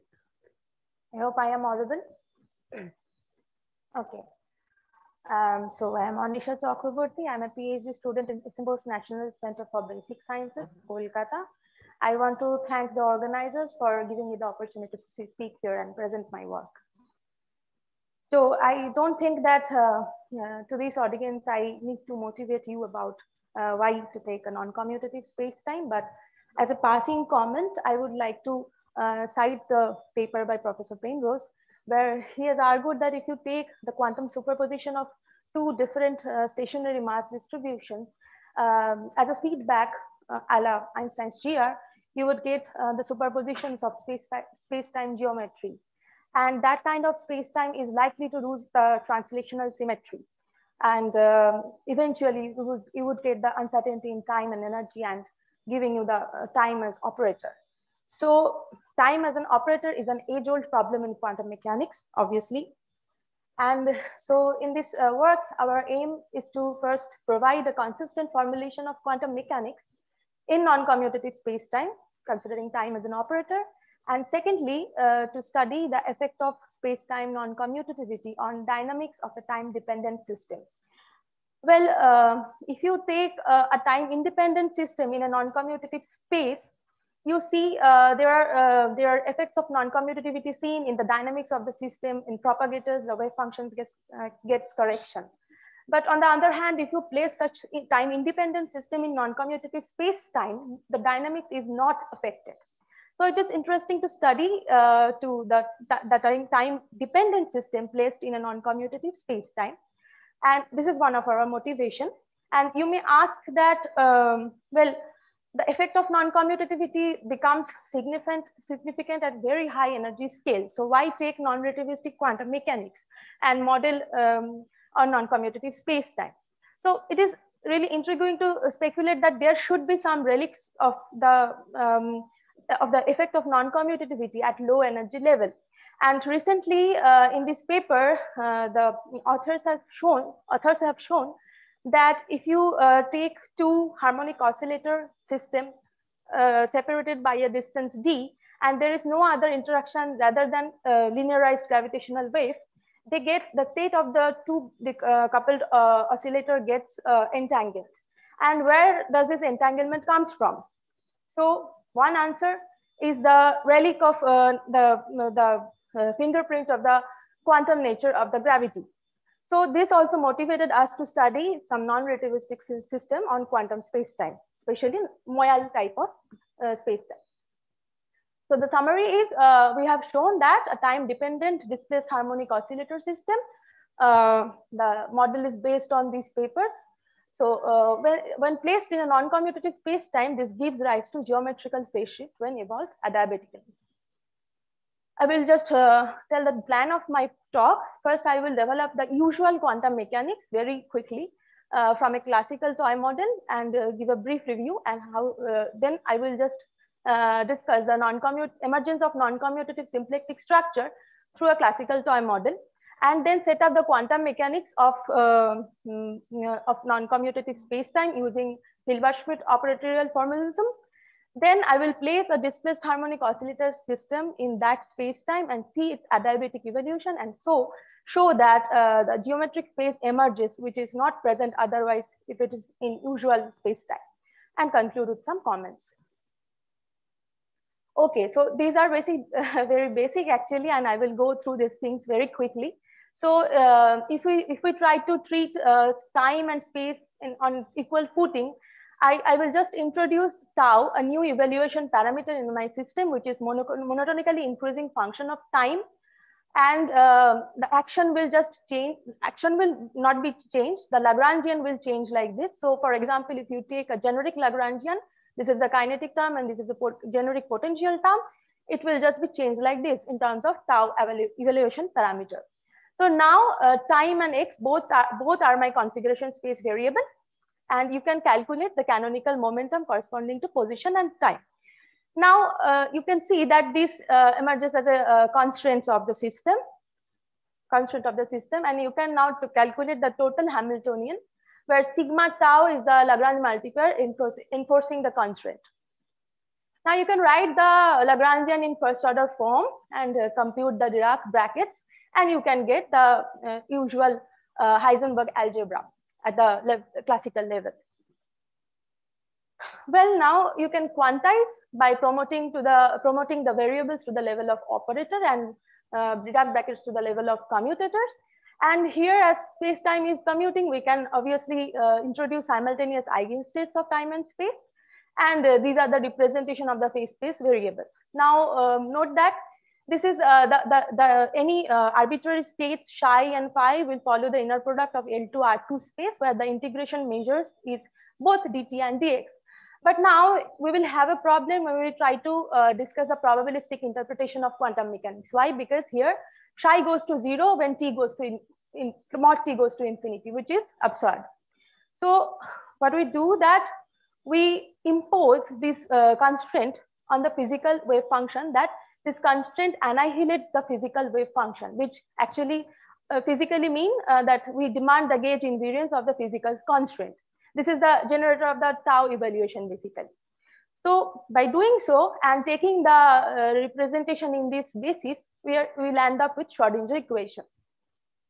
Now, if you uh, write the continuity equation and you can see that rho, the probability density will be uh, finite only when we, we consider the psi goes to in zero for mod x going to infinity, not mod t going to infinity. So basically we are uh, the, the physical wave function are the element of L2 R1 space, not L2 R2 space. So uh, till now we are carrying the L2 R2 space as a baggage. We are now leaving the baggage. We are uh, saying that the physical wave functions are L2 R2 and satisfy this inner, inner product. And at this stage, this Schrodinger, in this Schrodinger equation, we, the T is just the evaluation parameter as usual.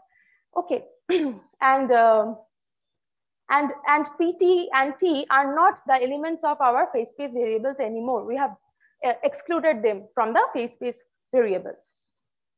Okay now quantum space time. So to the previous first order form of lagrangian if we now introduce uh, include a Chern-Simons like term in momentum space theta is the coupling parameter and run the Dirac analysis, you can see that at classical level, the, the Dirac bracket gives the non-commutativity between the positions and the usual Heisenberg algebra between x and p. So uh, now, okay, let us work with one plus one dimensional simplicism. Okay, so now we just quantize the Dirac brackets and uh, write the commutators, which is the total non-commutative Heisenberg algebra given by 17. To represent, to represent this algebra, we need a Hilbert space. So we first construct the uh, space of Fock states, which is created by this successive action of B dagger where B is the linear combination of T and X operator. Just like uh, we do for harmonic oscillator with X and P. So, uh, but note that uh, this is only, this, this can furnish the representation of this uh, space-time algebra only. Note the total Heisenberg algebra because PT and PX representation needs adjoint action. So left action and right action, but this only provides the left action of an operator on this. So now we will construct.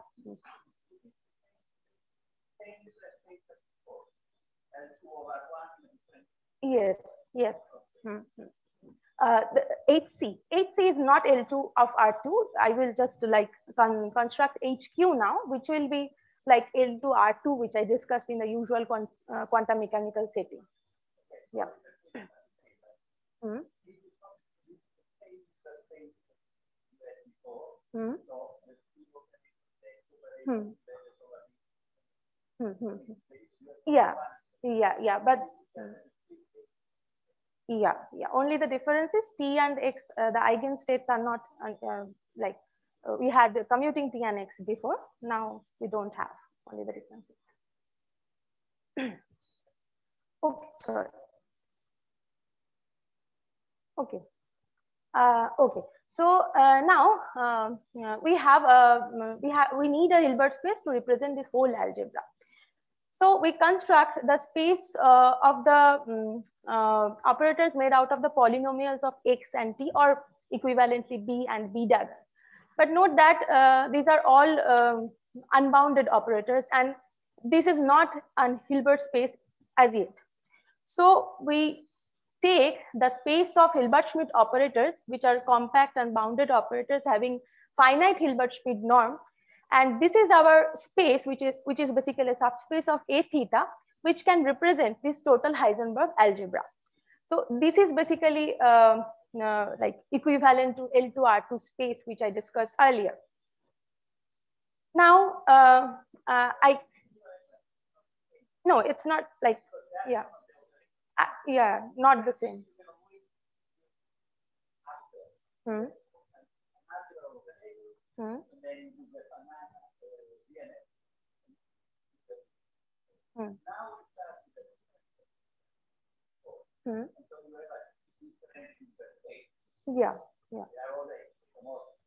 Yeah, yeah. yeah. On, on a different, yeah, yeah. Okay. Sorry. So uh, these are the representations of the phase space uh, operators on our uh, Hilbert space HQ. Just note that these angular kits are different from the round kits. So uh, the round kit element, uh, angular kits are element of HC and round kit elements are, ele these are elements of HQ. So uh, now we need something to, so so now we don't have the simultaneous eigenstate of T and X operator. What we have is coherent states. So we can construct the Glauber-Sudarshan coherent states using the B and B dagger I introduced earlier. So this is an element of HC. Again, we need an element of HQ because the abstract states psi are now elements of HQ. So we take the outer product of this uh, Z belonging to HC and this is my uh, coherent states for the HQ Hilbert space. You can normalize with this factor if you want to write it in terms of XT basis. This is basically Voros basis and you can check that it satisfies over completeness condition when um, uh, composed through the Voros star product, which, not, which is a non-local star product given by this equation. Okay. So uh, I just want you to um, note that this T and X are the expectation value of T and X operator in the coherent state basis, not eigen, eigen value of T and X operator, okay? Now, uh, the inner product will be given by L2 star R2 here. The composition is with respect to Voros star product. And uh, here I want to uh, like make you uh, recognize the symbol psi of xt is the representation of an abstract ket psi in the Hilbert space HQ in the Voros space. So it is like calculated, it can be calculated like this in equation 28.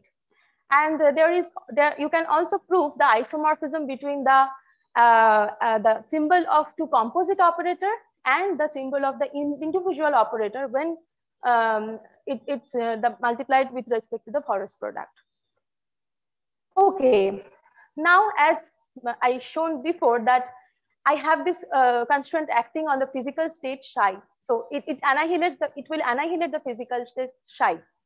So we have the Voros product, Voros basis now, and we can take the representation of the equation in that basis, which will give us the Schrodinger-like equation for non-commutative space-time. Here also we have the continuity equation, and uh, these are the corresponding probability density and current. And now uh, the inner product in L2, now the physical states are living in L2 star R1 space rather than L2 star R2 space because again, we will have problem with the hmm, probability density here. So to have a finite probability density, we need our physical states to be living in the space of L2 star R2, which is the, the inner product of which is given by this equation. Okay, now I am ready to um, um, ready to set up my forced uh, displaced harmonic oscillator in the non-commutative space-time, the Hamiltonian is given by this. Now we take uh, T and X to be non-commutative, the Hamiltonian will change a bit. Here we have taken the symmetric ordering. So an extra term arises here. And now we will take the uh, Schrodinger equation and write down it like this. We, we have just used the uh, isomorphism between the uh, symbol of composite operator. We have used that fact here. Now, uh, you can rewrite the equation like uh, equation 38, where you can see that this x theta and t theta, these are actually related with the x and t's. These are classical or commutative. These are the expectation values of x and t in the coherent state basis, if you remember. So x theta x and t theta t are related by a non-unitary transformation like this, where S is given here. So um, we have just used that and uh, represented our Schrodinger equation in terms of x theta and t theta. And it is interesting that uh, with, with this, uh, this, this operator gives you a map from L2 star R1 to L2 R1. So basically we can go from a non-commutative uh, uh, psi like which is psi physical to a commutative one. And one can show for any generic state, actually the inner product between any two wave function is equal at a constant time slice. So basically, uh, the, uh, the, it, it is important to emphasize that the integrands are not equal because they are living in different algebra. This is non-commutative and this is commutative. Obviously, they are not equal, but the total integral is equal. So we will use this uh, fact to, uh, to set up an effective commutative theory from, the, from our non-commutative displaced harmonic oscillator. So we have just used this uh, non-unitary transformation to uh, write down our Schrodinger equation as 41. Now everything is written, in the, now basically the system is written in term of psi c, which is the element of L2R1 space. Now, uh, if I write down the Hamiltonian, I, I am just rewriting the Hamiltonian. This is basically the addition of generalized harmonic oscillator plus some time dependent perturbation linear in x and px. Note that f and g has to be periodic because I will be uh, considering uh, the adiabatic evaluation of the system. And these are the uh, time dependent, B is not time dependent. A, alpha and gamma are the time dependent parameters. So we can think of a parameter space consisting of alpha, beta, and gamma, and which varies periodically with capital time, capital time uh, T, which is the time period. And we can think of that the, the system Hamiltonian changes adiabatically through this parameter only when they uh, make a closed loop in the parameter space. So these are uh, just some calculations. So I, I have used this a and A dagger to semi-diagonalize the Hamiltonian. It is not totally diagonalized yet. Again, uh, and one more uh, thing is the speed, the uh, nature of PT is a bit uh, ambiguous because it is not completely uh, slowly varying parameter. It consists of multiplication of slowly varying and fast varying parameter. So we needed to dispose this PT and we did another uh, unitary transformation, time dependent unitary transformation, show that the Schrodinger equation changes covariantly. And uh, with that transformation, we could land up with this Hamiltonian, which is completely diagonalized. And it is basically the Hamiltonian of, of, a, of a generalized harmonic oscillator. Now you can ask me that I have done a time dependent unitary transformation. Is my system the same anymore? so uh, no, the, the dynamics will change, but as we are looking at the geometric phase, it won't be a problem. So that will be same for HC tilde and HC. Now I will be a bit quick. So here, these are the, uh, I have uh, used the Heisenberg picture. These are the differential equation of A and A dagger. Till now, we haven't uh, done any consideration of uh, the parameters slowly or fastly varying. Now, but now I will uh, just uh, dispose the first and higher order time derivative of the parameters alpha and gamma and uh, see the adiabatic evolution. So if we transport adiabatically along a closed loop gamma in time capital T, we will get that A dagger T will acquire an extra phase, which is geometric in nature over and above this dynamical phase.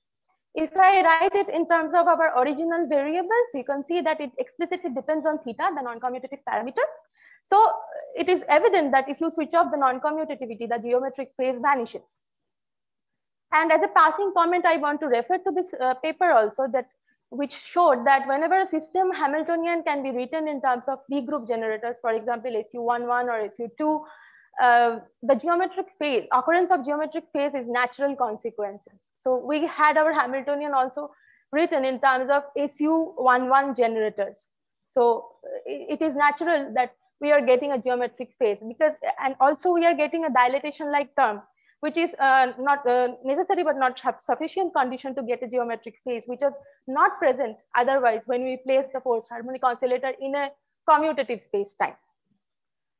So I will conclude that my forced harmonic oscillator placed in quantum space-time generates a dilatation-like term, gives rise to Berry phase, and when I switch off the non-commutativity, it vanishes. And um, uh, as I said before that it was uh, shown that two separated harmonic oscillator states interacting via linearized gravitational fields get entangled, gets entangled. And this indicates the nature of quantum nature of gra gravity seen in the non-relativistic regime. So one of my future work will be, it will be interesting to study the effect of linearized gravity when it interacts with the safe system, but placed in a non-commutative space-time. And uh, this is our group, my supervisor Biswajit Chakraborty and my collaborator Partha Nandi, other colleague Sayan Kumar Pal. I want to thank you for listening. Thank you. Oh, thank you. Questions, please. Comment. Yes.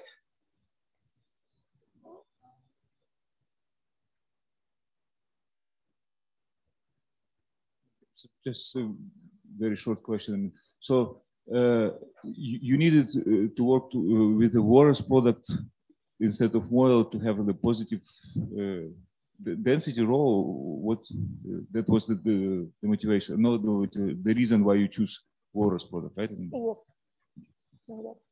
Because uh, in quantum mechanics, small star product has some problem. It does not give, give you POVM condition for quantum mechanics. That is why Voros. Okay. Uh, more questions? Uh,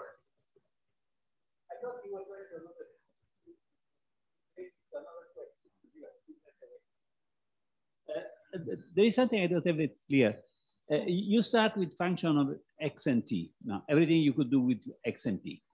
Then you, you are talking in the non-commutative. In the non-commutative, hmm? and then you represent this. Then you take the function of this x and uh, t, not, commuting in a canonical way, and then you uh, promote them to an Hilbert space and uh, by with an inner product, etc. But this is a highly reducible, an highly reducible representation. You can do the same thing between x and p.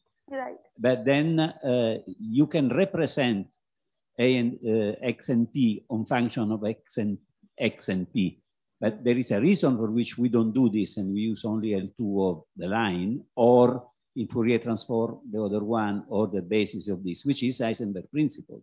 Hmm. And now I, I couldn't see this Heisenberg principle in your your presentation. And There is an indetermination between, between x and t, so that uh, when you present on the Hilbert space, there is a lot of redundancy if you do this. So this I, I, I couldn't see. I'm not sure I understand your well, question. Uh, yeah, from a point on, you were based on the fact that, that x and t equals equal to i. Hmm. Okay, then you could forget everything about non-commutative geometry hmm. and do this on the third year for x and p. Hmm. But then you were doing, so let's do it for quantum mechanics. Hmm. And so you have functions of x and p and everything. But we know that this is not the way to do quantum mechanics because it doesn't make any sense to a function of x and p. Hmm. And this is due to the fact that this representation as operators on an Hilbert space with GNS, you have to take a quotient. You have to, and uh, so I don't, I didn't see this activity in your your presentation. Okay, so uh, I will. Mm -hmm.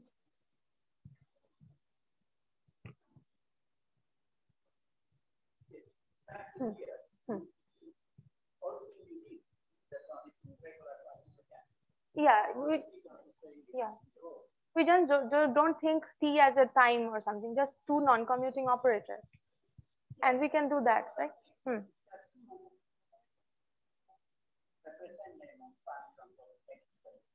Mm -hmm. Hmm. Okay, I understand. Hmm. Hmm. Hmm. Hmm.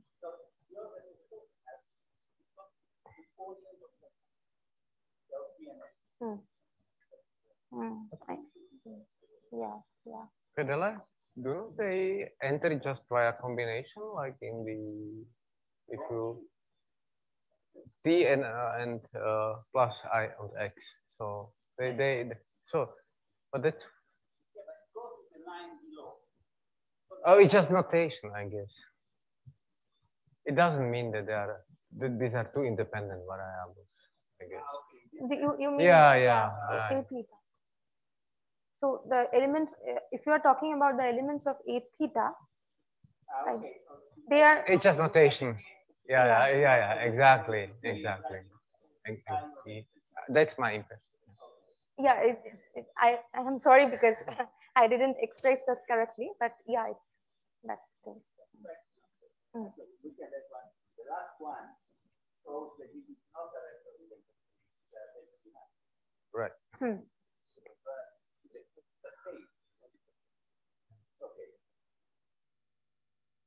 Okay. Uh, if there are no more questions, so thank you for the nice talk and Thank you.